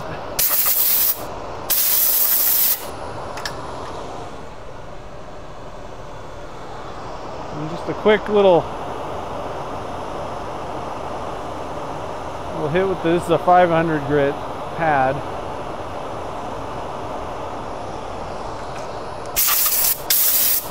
Probably sands more like a 600 or so.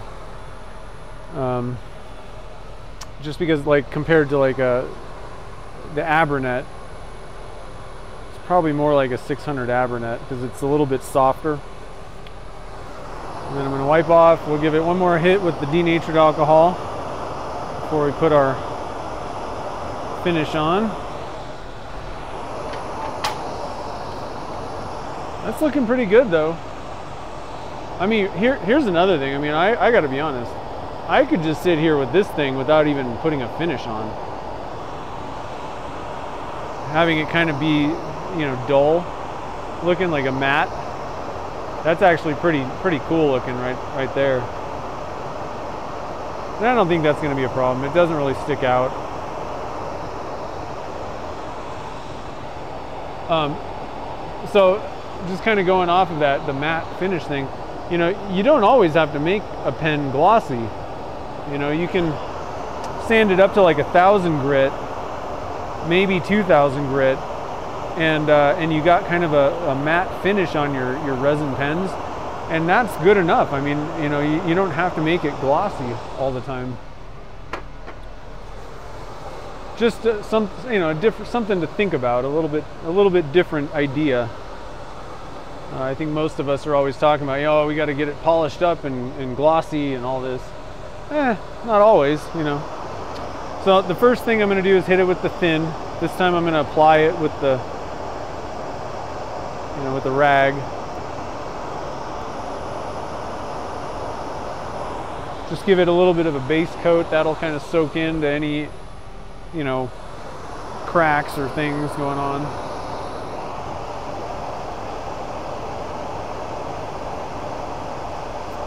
Yeah, unfortunately, the, the eighth inch, um, I had to disc. I have a few panels left, but I had to discontinue buying that. This stuff went up in price so much over the pandemic, uh, and obviously it's not going to go down.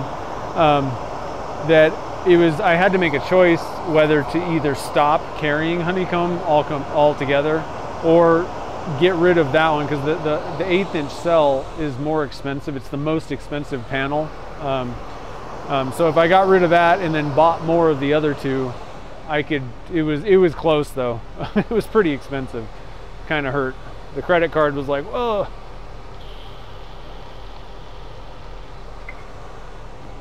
So I ended up having to get rid of that one. But the other stuff is more. Um, most people like the the quarter inch cell more anyway. So, unfortunately. All right, so let's get some, uh, so I like to use that thin stuff for the first coat and then I switch over to the Mercury Thin Flex for my finish, let's call it, the top coat.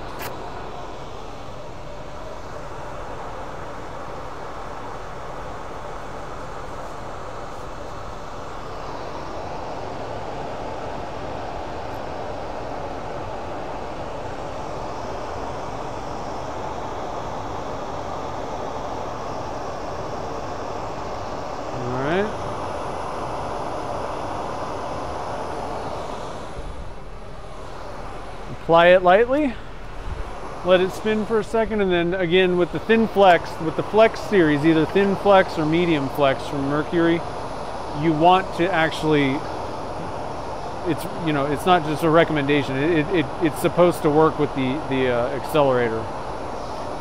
Otherwise it, it doesn't cure as well. So it's, it's, it's something that you're gonna wanna do. Plus it just makes things go faster anyway, but it is it is actually meant to be used with accelerator.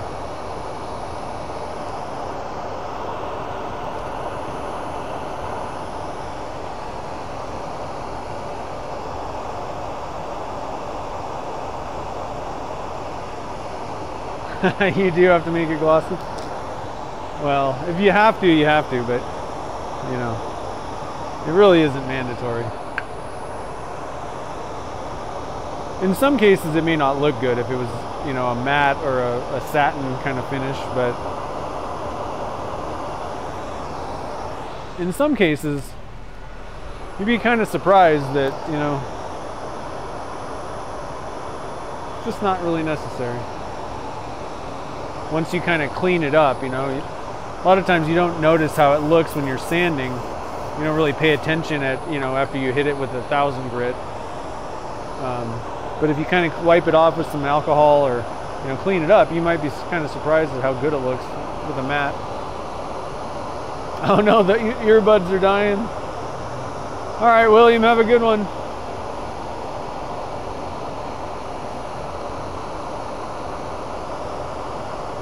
Oh man. All right, Scott, have a good one. I probably missed you. Sorry about that, but have a good one, man.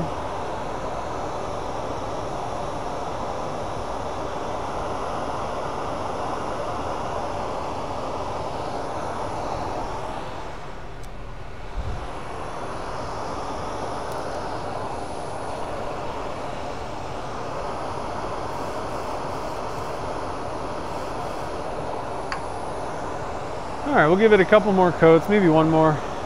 Don't have a whole lot of paper towel left.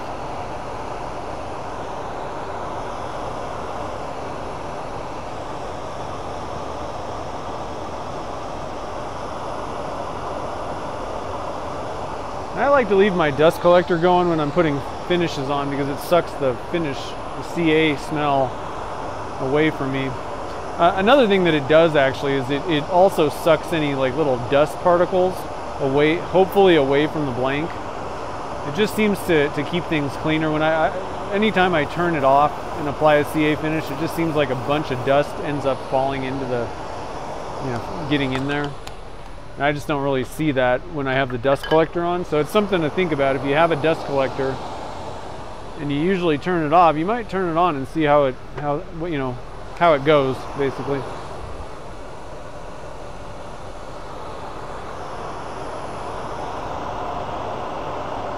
Right, so that's looking pretty good. Still got a little bit of a, there's a little bit of a bump right there, I think. So I think what I'm going to do, let's see, I should have filled that first. It would have been easier.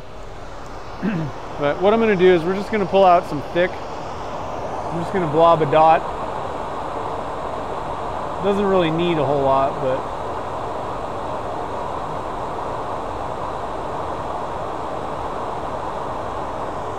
just going to kind of blob that on there. Might have to do a couple coats of this, and then I'll just kind of sand it out.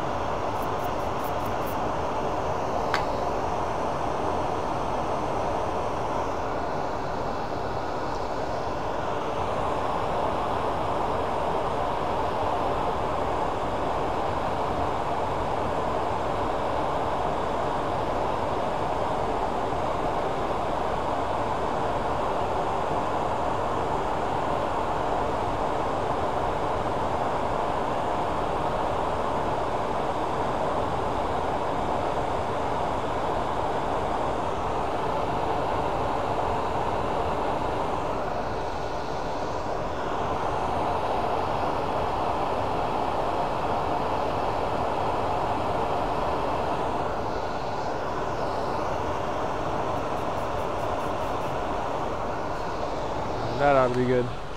Just so there's not a little, I don't want you to be able to feel a little indentation there, even if it is tiny.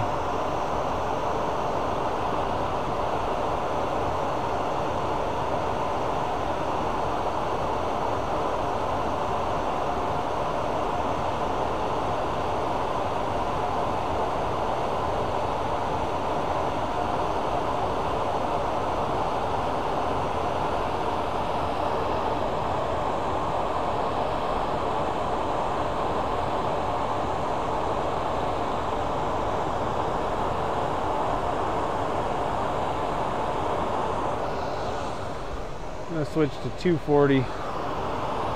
Now there's kind of a bump.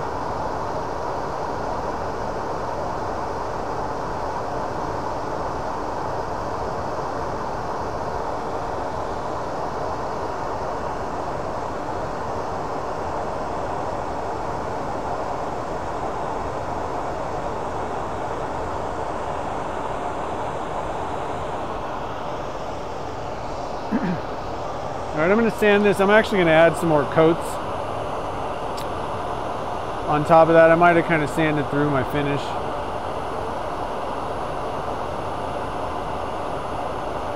I can still kind of feel a little bit of a bump there, so we want to fix that. I It would have been smarter to fill that before I did the finish. Just so I could kind of work on it, sand it, and not have to worry about messing up my finish, basically. We're gonna have to just sand this.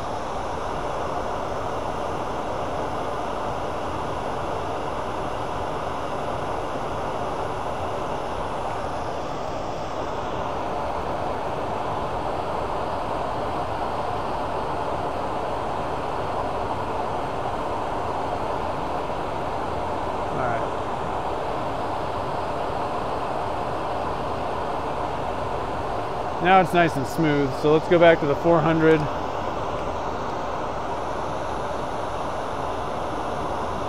I'm to sand the whole blank again real quick.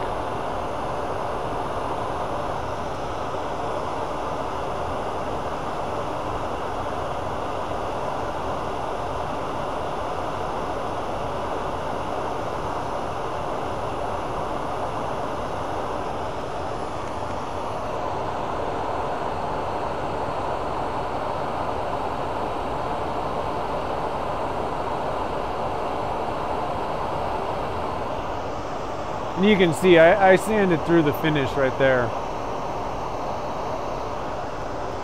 So we're gonna have to reload it and uh, redo our finish, but that's okay. Only a few coats, no big deal.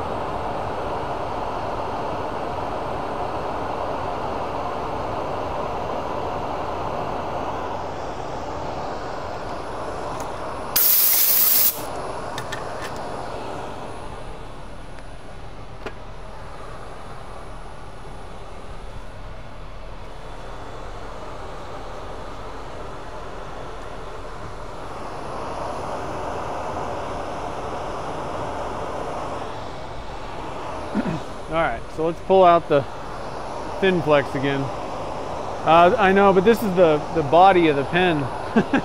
Unfortunately, we can't hide it.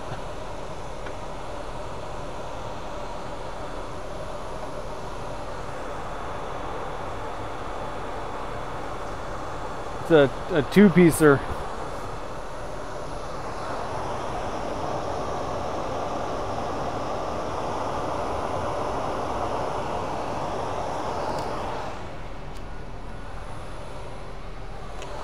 I need some more uh, accelerator. Shoot.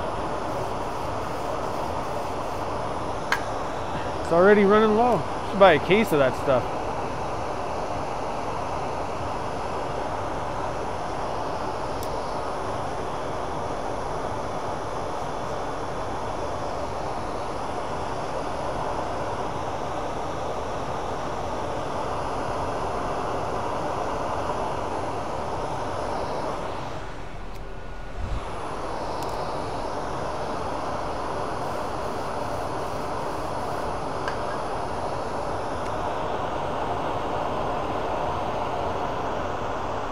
Sure does look good though. I'm, I'm pretty happy with it.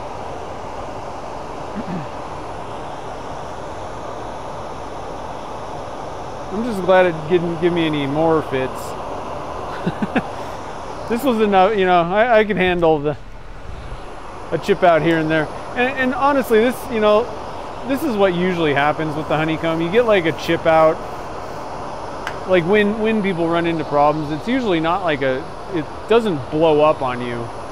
It you just get a chip out usually. It's kind of what I find, at least with the honeycomb that I sell in the in my blanks. Uh, you know, you get a little chip out, but hopefully you can find the little piece, glue it back in, and everything's fine. You know, it's not really that big of a deal. It's it's fairly rare for the like the entire blank just to fail or like totally come apart. Um, and especially if you're using the if you're hitting it with CA glue, dou- you know, dousing it, then I mean that's just probably not going to happen.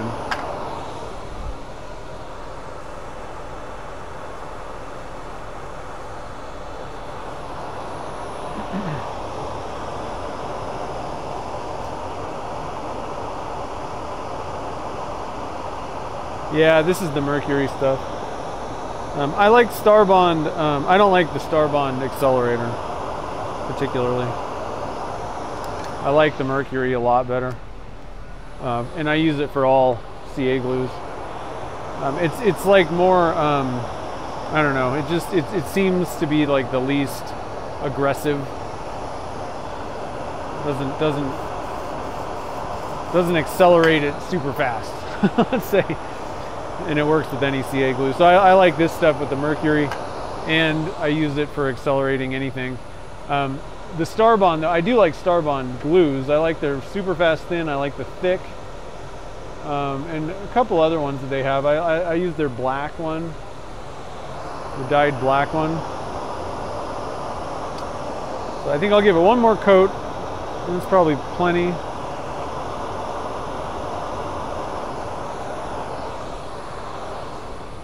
and then we'll uh, finish the finish.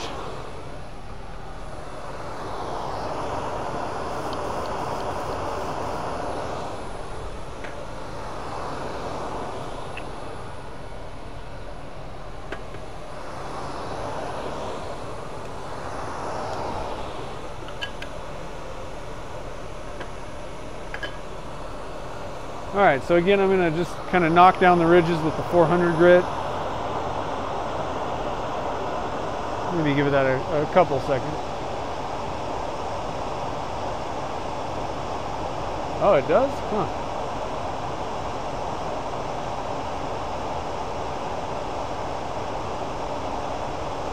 yeah, Starbond's not going to send me the mercury. I'm just happy that Turner's Warehouse carries it because there I get my I get my you know I being pretty close to Phoenix I get orders from Turner's really really fast. Like sometimes it's like a couple days from the day I order it I get it in hand. Not in the winter um, the, just the shipping companies take longer the weather and all that but actually that stuff being an aerosol is probably a ground shipment though so it might take a little bit longer.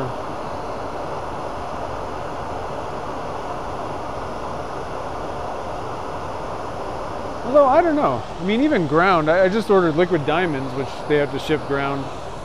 And uh, I think they did anyway. It only took like three days to get.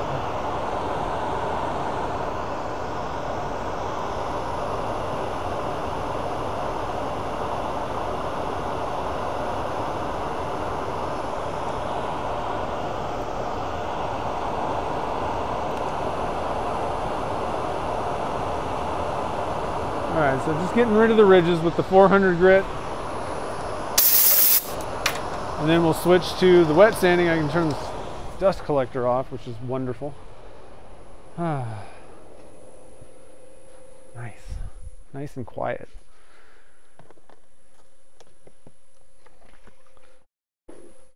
Okay. And the first one is the zona green.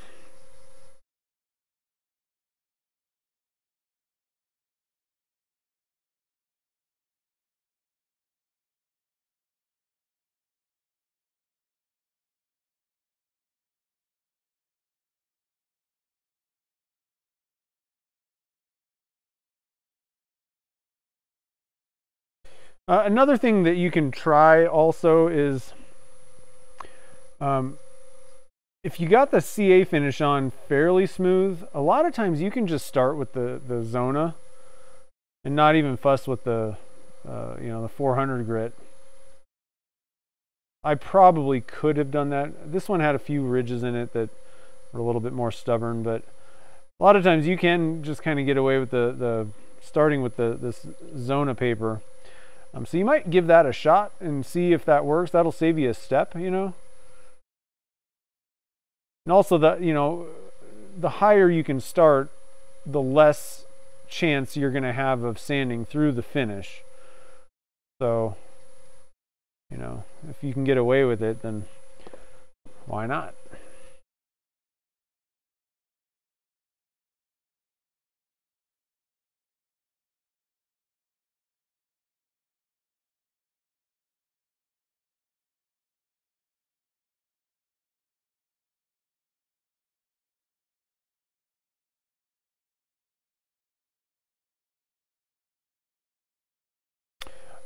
Speaking about the foaming up, a lot of people, I've heard a lot of people kind of complain about that with accelerators and CA glues. And I just, I've never seen that even happen here. And I'm wondering if it just has to do with the humidity level, the ambient humidity, and then you add that stuff to it. Um, because it just, I don't think I've ever seen a CA glue foam up on me. But, you know, it's really dry in Nevada, so might be kind of the reason why that I haven't really seen that. So if you're in a humid area, you might be might be a little bit more cautious about your accelerators. Um, the mercury is not going to foam up or do anything. It's not it, it's meant to work with the, the finishes for sure without causing any issues. So um, if you're using the thin flex or medium flex, the accelerator will have no effect like that um, no matter where you're at. Um, and I, I just find that accelerator to be kind of mild anyway, milder than other ones. Um, and so I don't think that you really should have a problem with other, you know, like the stand your standard non-thin, or I mean the non-flex versions. You, you still shouldn't really have any issues with that. I don't think. All right, so let's wipe this guy off. And then we'll move on to our magic juice. And again, we're going to do a little experiment. I just, I, am finding that, I, you know, I get through the first three steps of magic juice and I don't see a whole lot more happening after that on the next three steps. And so I, I, thought, let's just, just try it out. We'll just go one, one through three. Um, and there's no, you know, it's not like it takes much longer to go four, five, six. I'm just doing a little experiment. Um, but you may find, like, if you want to save a little bit of time, it, it may not really be necessary, you know, to go through all three, all six steps.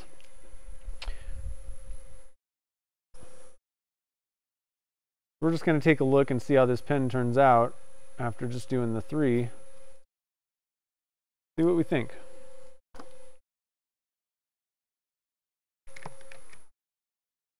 All right, yeah, that's looking pretty good. Okay. Just get this wiped on here.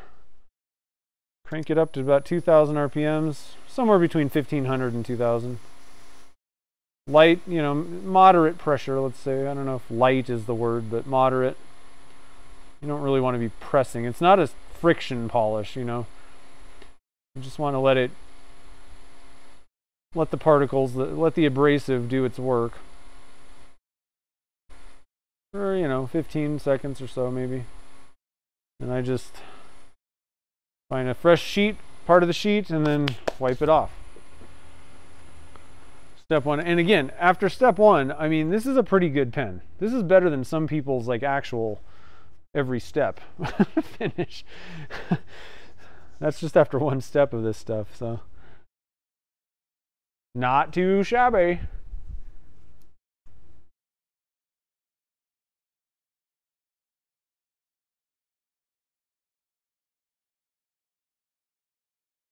Yeah, I've, I think I've seen people have it foam. I've just I've never had it. Um, I've never experienced it myself. All right, so I'm gonna put with step two. This stuff seems to be a little bit stickier when it kind of dries out a little bit on there. So I'm gonna apply just a little bit more pressure so I don't wrap up the paper towel. Hopefully again. There we go.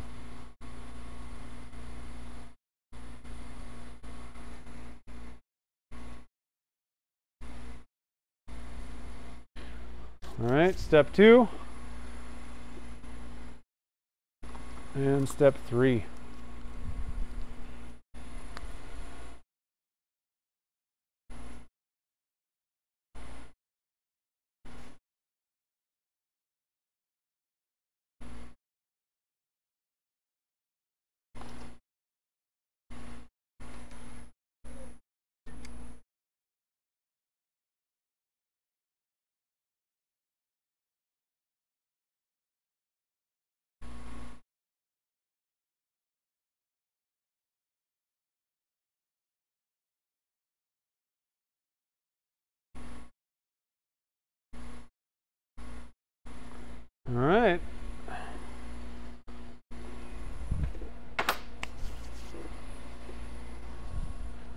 Again, I'm not advocating only stop like stopping it at number three, but at the same time, I'm not sure that you have to go to six. That's all. We're just doing an experiment here, seeing what we can find out. But I mean, that's that's pretty darn polished, glossy. All right, so I'm gonna get the bushings off here. This bushing's a little bit sticky on this end. This is what I do.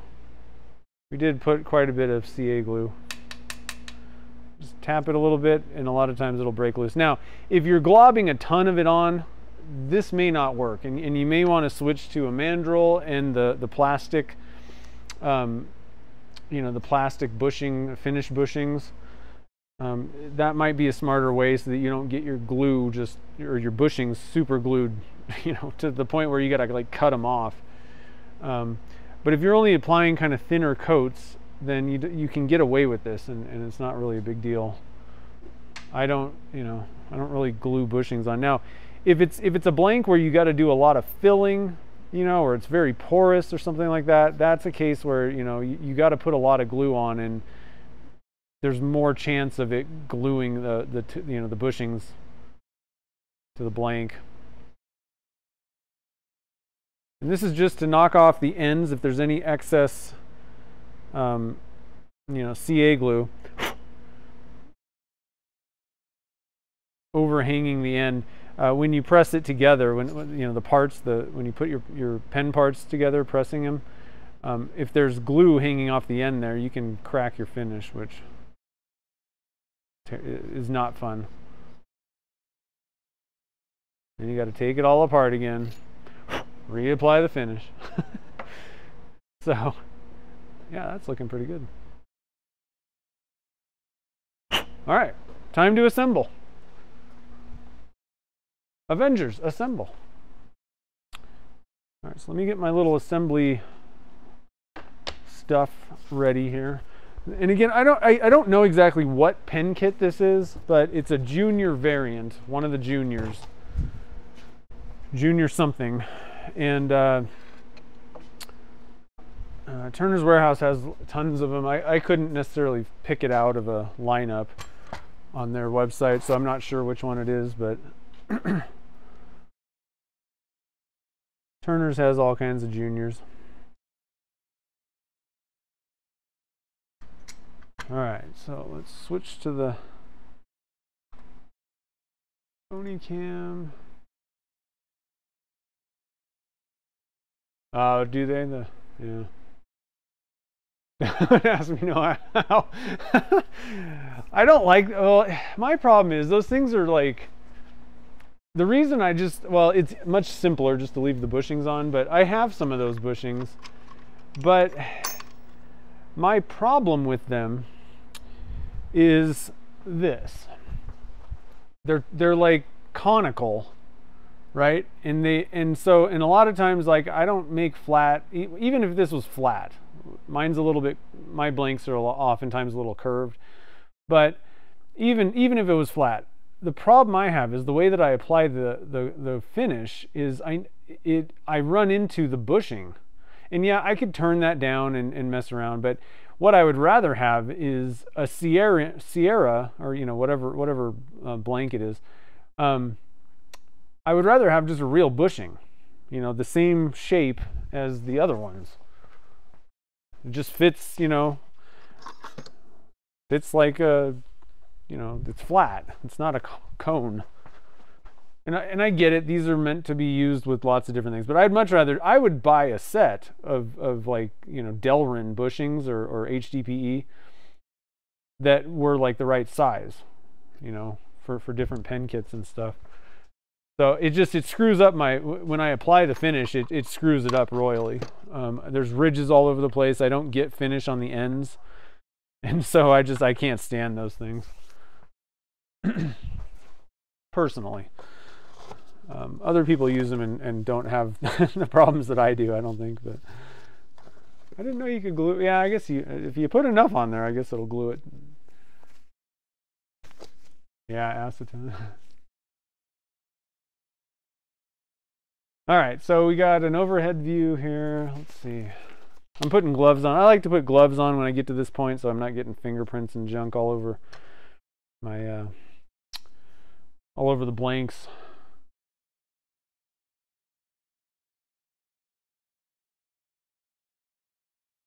Okay. And uh, so let me go and pull that, that piece. I have a, actually, so th again, this is this was a fountain pen kit, but um, you can just swap out. And actually, Turner's Warehouse sells components and different stuff, so you might be able to find if you don't have another kit. But this is a, a Junior Herald kit, a different kit, um, you know, but it's chrome. And all you got to do, if you wanted to do a roller ball instead, is just swap out the nib section. That's that's the only part, and, and they're all interchangeable with the junior um, variants. So, um, just kind of wanted to let you guys know that if you know if you buy a fountain pen kit that's a, a junior series, one of them, um, you could find you know a, a chrome rollerball nib and swap them out if you wanted if you wanted a rollerball instead of a fountain or the other way. Okay, so let's see here.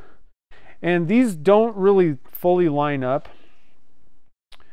So I'm not I'm not particularly worried about how these go. I think what I'm going to do yeah, it doesn't. It, it, just doesn't line up. The way I cut these didn't really work out. It wasn't, and there there was actually it wasn't the way I cut them. It's just there was random chunks in this blank. So I think we're gonna do it this way. I think I like that. Let's see. Actually, the way that I did this, I think it actually works this way. Hmm, let me let me look at something. No, maybe not. Okay. It's gonna it's gonna be like that. I like this, I think.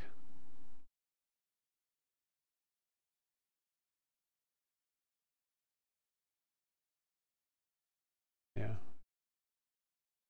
Okay, so we're gonna put this piece in here.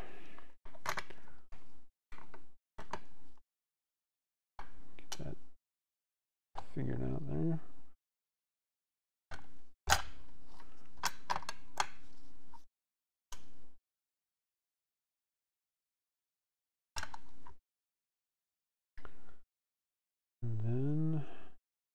And again, it I, there's not like grain. I don't really care necessarily how this ends up, so I'm not even to like line it up. We're just to let chance dictate how this turns out because I don't think it's really to make much difference um, how, how things are actually lined up in the end, which makes things nice. You don't have to really worry about that stuff.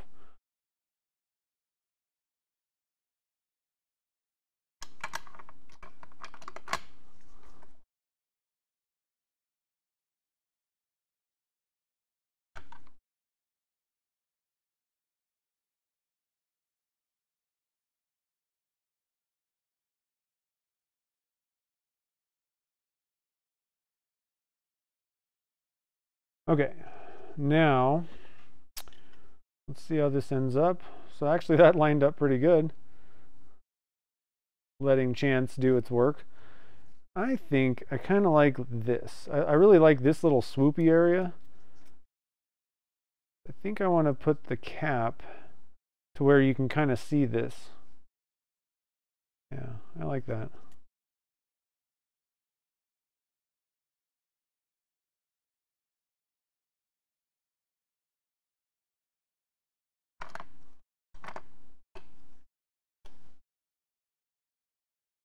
Where'd my swoopy area go?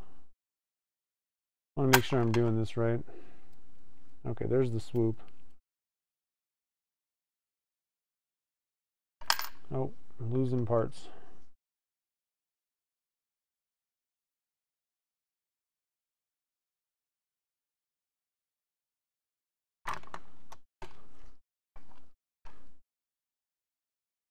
Just need to get this thing started so that I can kind of play with it. Okay, there's the swoop.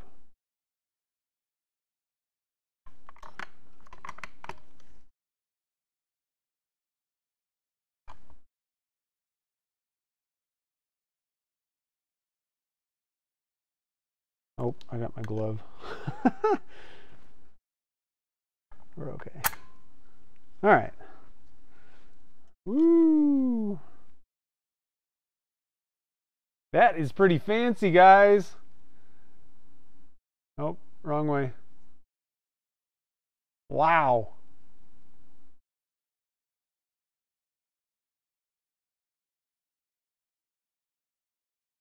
Camera's all backwards, so sorry. I'm like trying to get on get it centered.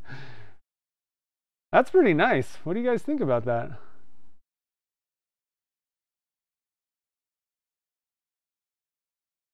I really like this little swoopy swoopy area with the the the micas there. I like that. And so again, all all you got to do to convert this to a roller ball is just unscrew this nib section. And uh, what did I do with the? Where did I put the thing? Hmm. I don't know what I did with the other one. Oh, I put it back.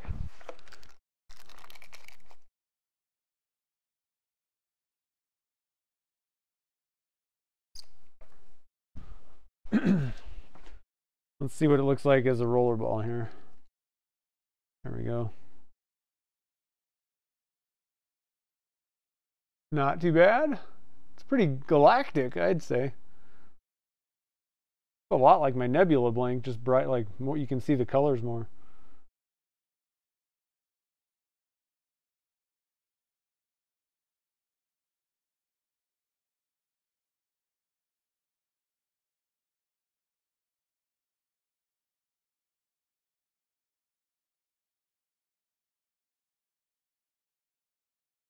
Nice. Nice. I'm digging it. Let's see what you guys have to say about it. Uh, let's see here. Yeah, chipping, uh, chipping out. A lot of times, if if I do get my bush, sometimes I get my bushings flat stuck. Like there's like a layer of glue over the bushing in the the blank. And what what I'll do is just take. Uh, you could either take a detail tool um, you know, one of the diamond ones, I would, you, you really want to find, you know, like the super pointy one though.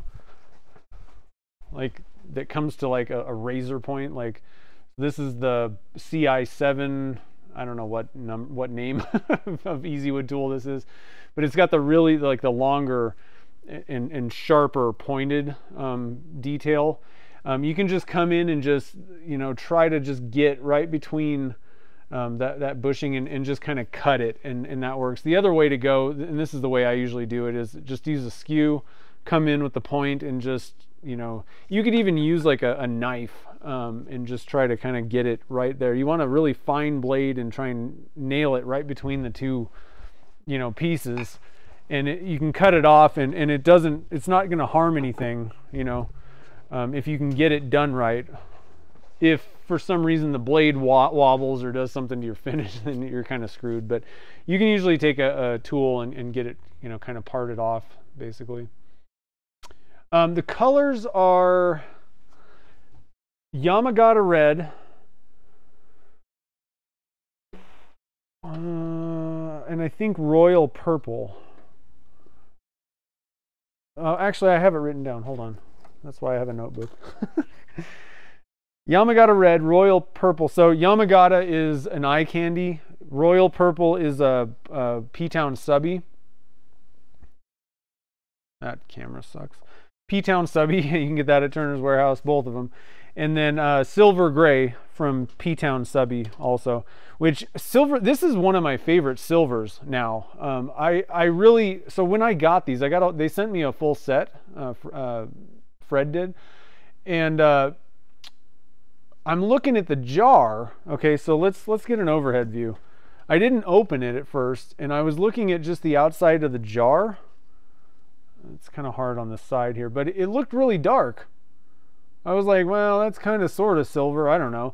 Then I opened it finally, and it's like silver. Like it's a good silver. So this is kind of my favorite. Um, it, it man, there's a bunch of powder on the lid or something. It keeps blowing out everywhere. Um, it reminds me of. it actually reminds me for for the folks that have been around the live stream since Twitch. It reminds me of the Yakinum.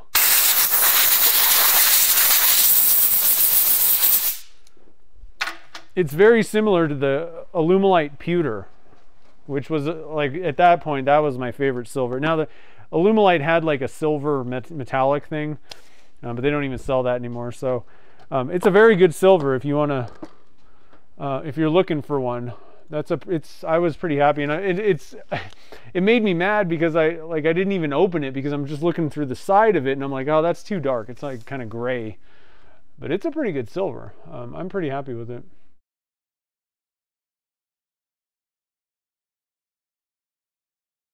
Yeah, I, I think that the yeah the, the chrome and the silver and all that it, it's pretty pretty nice.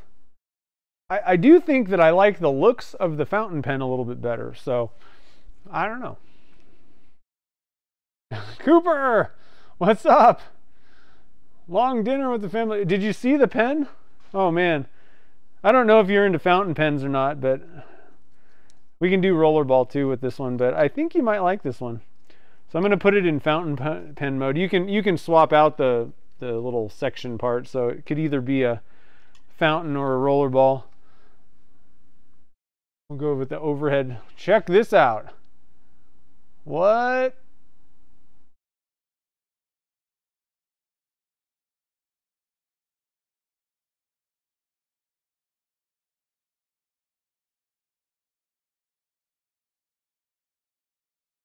Nope, it's hard to center this. It's all backwards.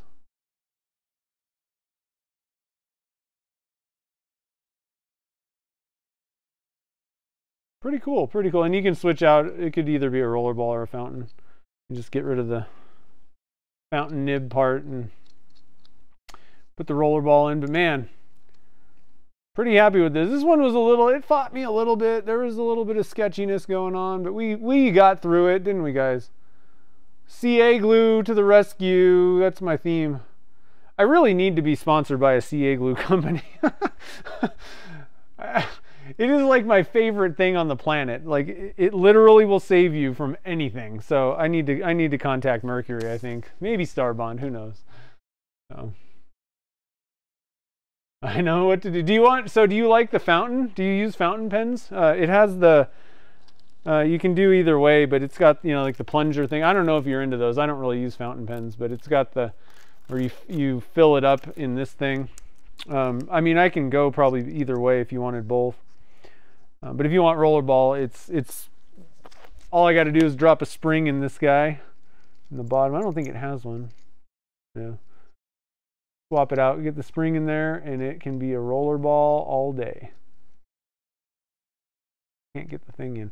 Oh, actually, one thing that I forgot to show you guys, because um, it wasn't really very squeaky. Um, one thing that you want to do on your pens is, uh, let me go get, you want to grab a little piece, a little bit of wax. I really need to get a new jar.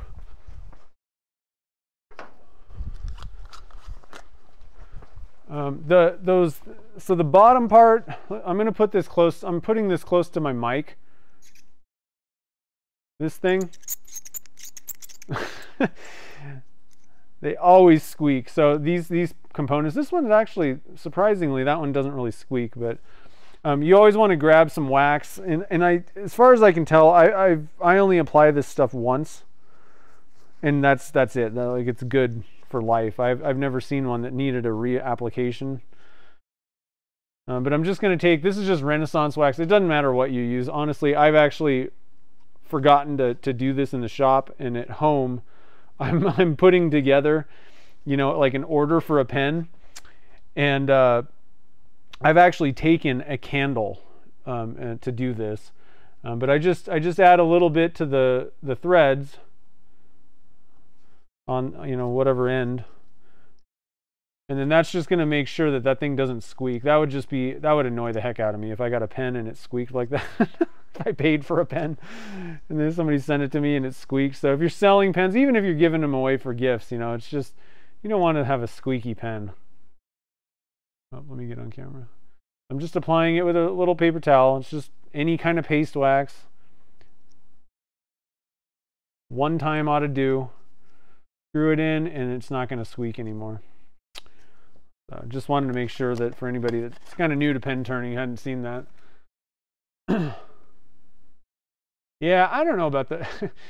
I I'm I'm on the fence because I I like I like the idea of fountain. Like it sounds all you know. It's like a like this this this romantic idea. I've got a fountain pen and I'm all you know But I'm like, I don't want to be like pulling ink out of a thing and doing, uh, it just doesn't sound fun to me. I'm not that kind of guy.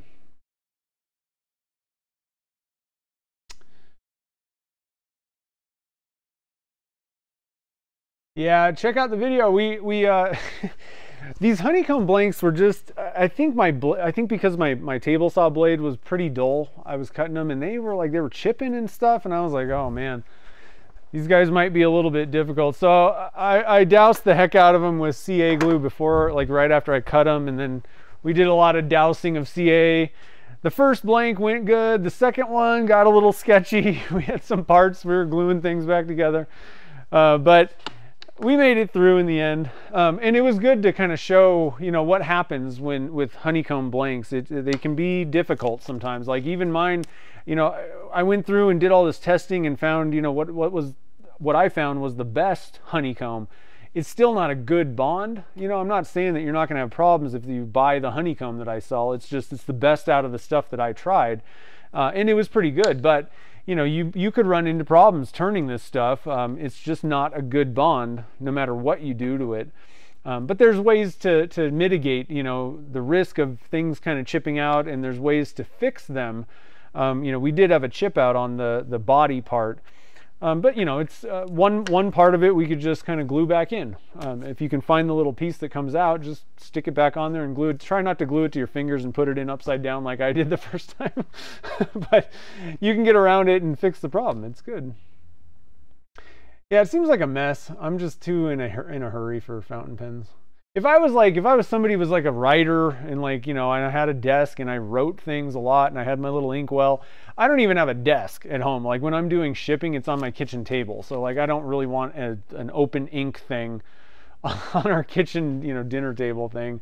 It's just not a, fountain pens have never been my thing.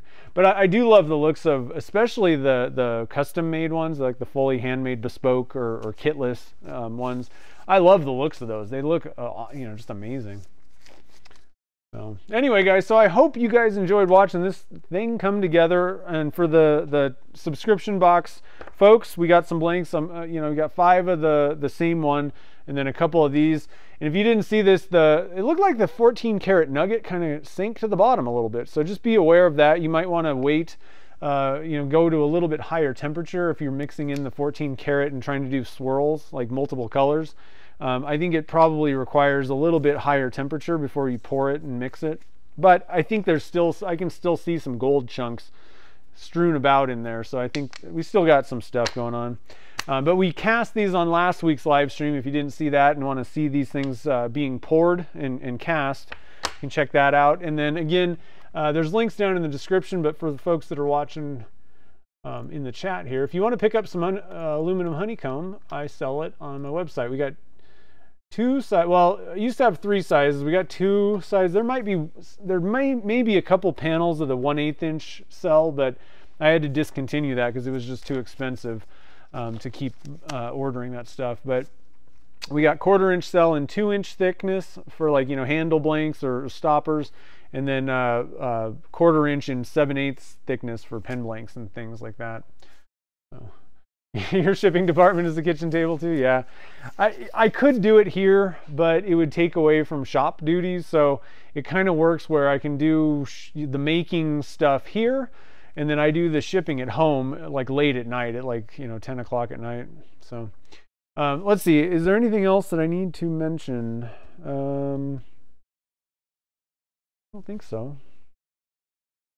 Uh, there will be a video coming out next week. It's just a really short one. I don't think I'm going to do a, a um, uh, what are they called? Uh, premiere. It, it's just kind of a quick tips video, and, and most of the folks that uh, do the live streams and come out for the um, like the what are they called? I just lost it. I've been streaming for over two hours. My brain's gone. but um, uh, the the premieres. Um, I, it's going to be a really quick one, and I think a lot of you guys have already seen the topic. It's going to be on uh, heating up resin to thin it, you know, thin the viscosity. So be looking for that. It'll probably come out. Um, I don't know. I might just drop it on Wednesday afternoon, like I was doing before. Um, so be looking for that. Um, if you do have thick resin, or you know, especially with colder temperatures, resins, all of them kind of thicken up a little bit more. Um, and so heat is an easy way to, to, to, to you know, thin it out. But uh, a lot of people kind of recommend using like boiling water pots or weird stuff. And I got a way better way to do it. So if you haven't seen that or heard about how I do it, uh, be looking for that video. It's coming next week. And I think that's about it, guys. So next week we're going to be doing back to, so it's going to be, uh, like I said, flip-flop schedule with the live streams where we do, you know, it's going to be every Saturday. So actually, I, I didn't mention this at the beginning. Saturdays at 2 p.m. is going to be when we do live streams from now on, all right? And it's, but it's going to be the flip-flop where one week we do resin casting and then we're going to turn the blanks from the week before um, on the next one. So uh, I got some really cool things um, I came up with some good ideas. Let's see. Yeah, I actually I don't have anything that I can show you, but um, next week's uh, dunk, it's going to be like a Dunkin' Junk style thing. I think you guys are really going to like it. I, I, found some really cool stuff to drop in resin, so uh, make sure to come back out 2 p.m. Pacific time. I almost choked on my own. Ah, I'm dying here. okay. Anyway, I hope you guys all have a wonderful evening. Thank you guys all for joining the fun tonight. And I think that's about it. So I will see you guys all on next Saturday's stream. Again, 2 p.m. Pacific time. So make sure to come out and we'll do some Dunkin' Junk. It'll be pretty fun. So have a great night, guys. I'll see you on the next stream.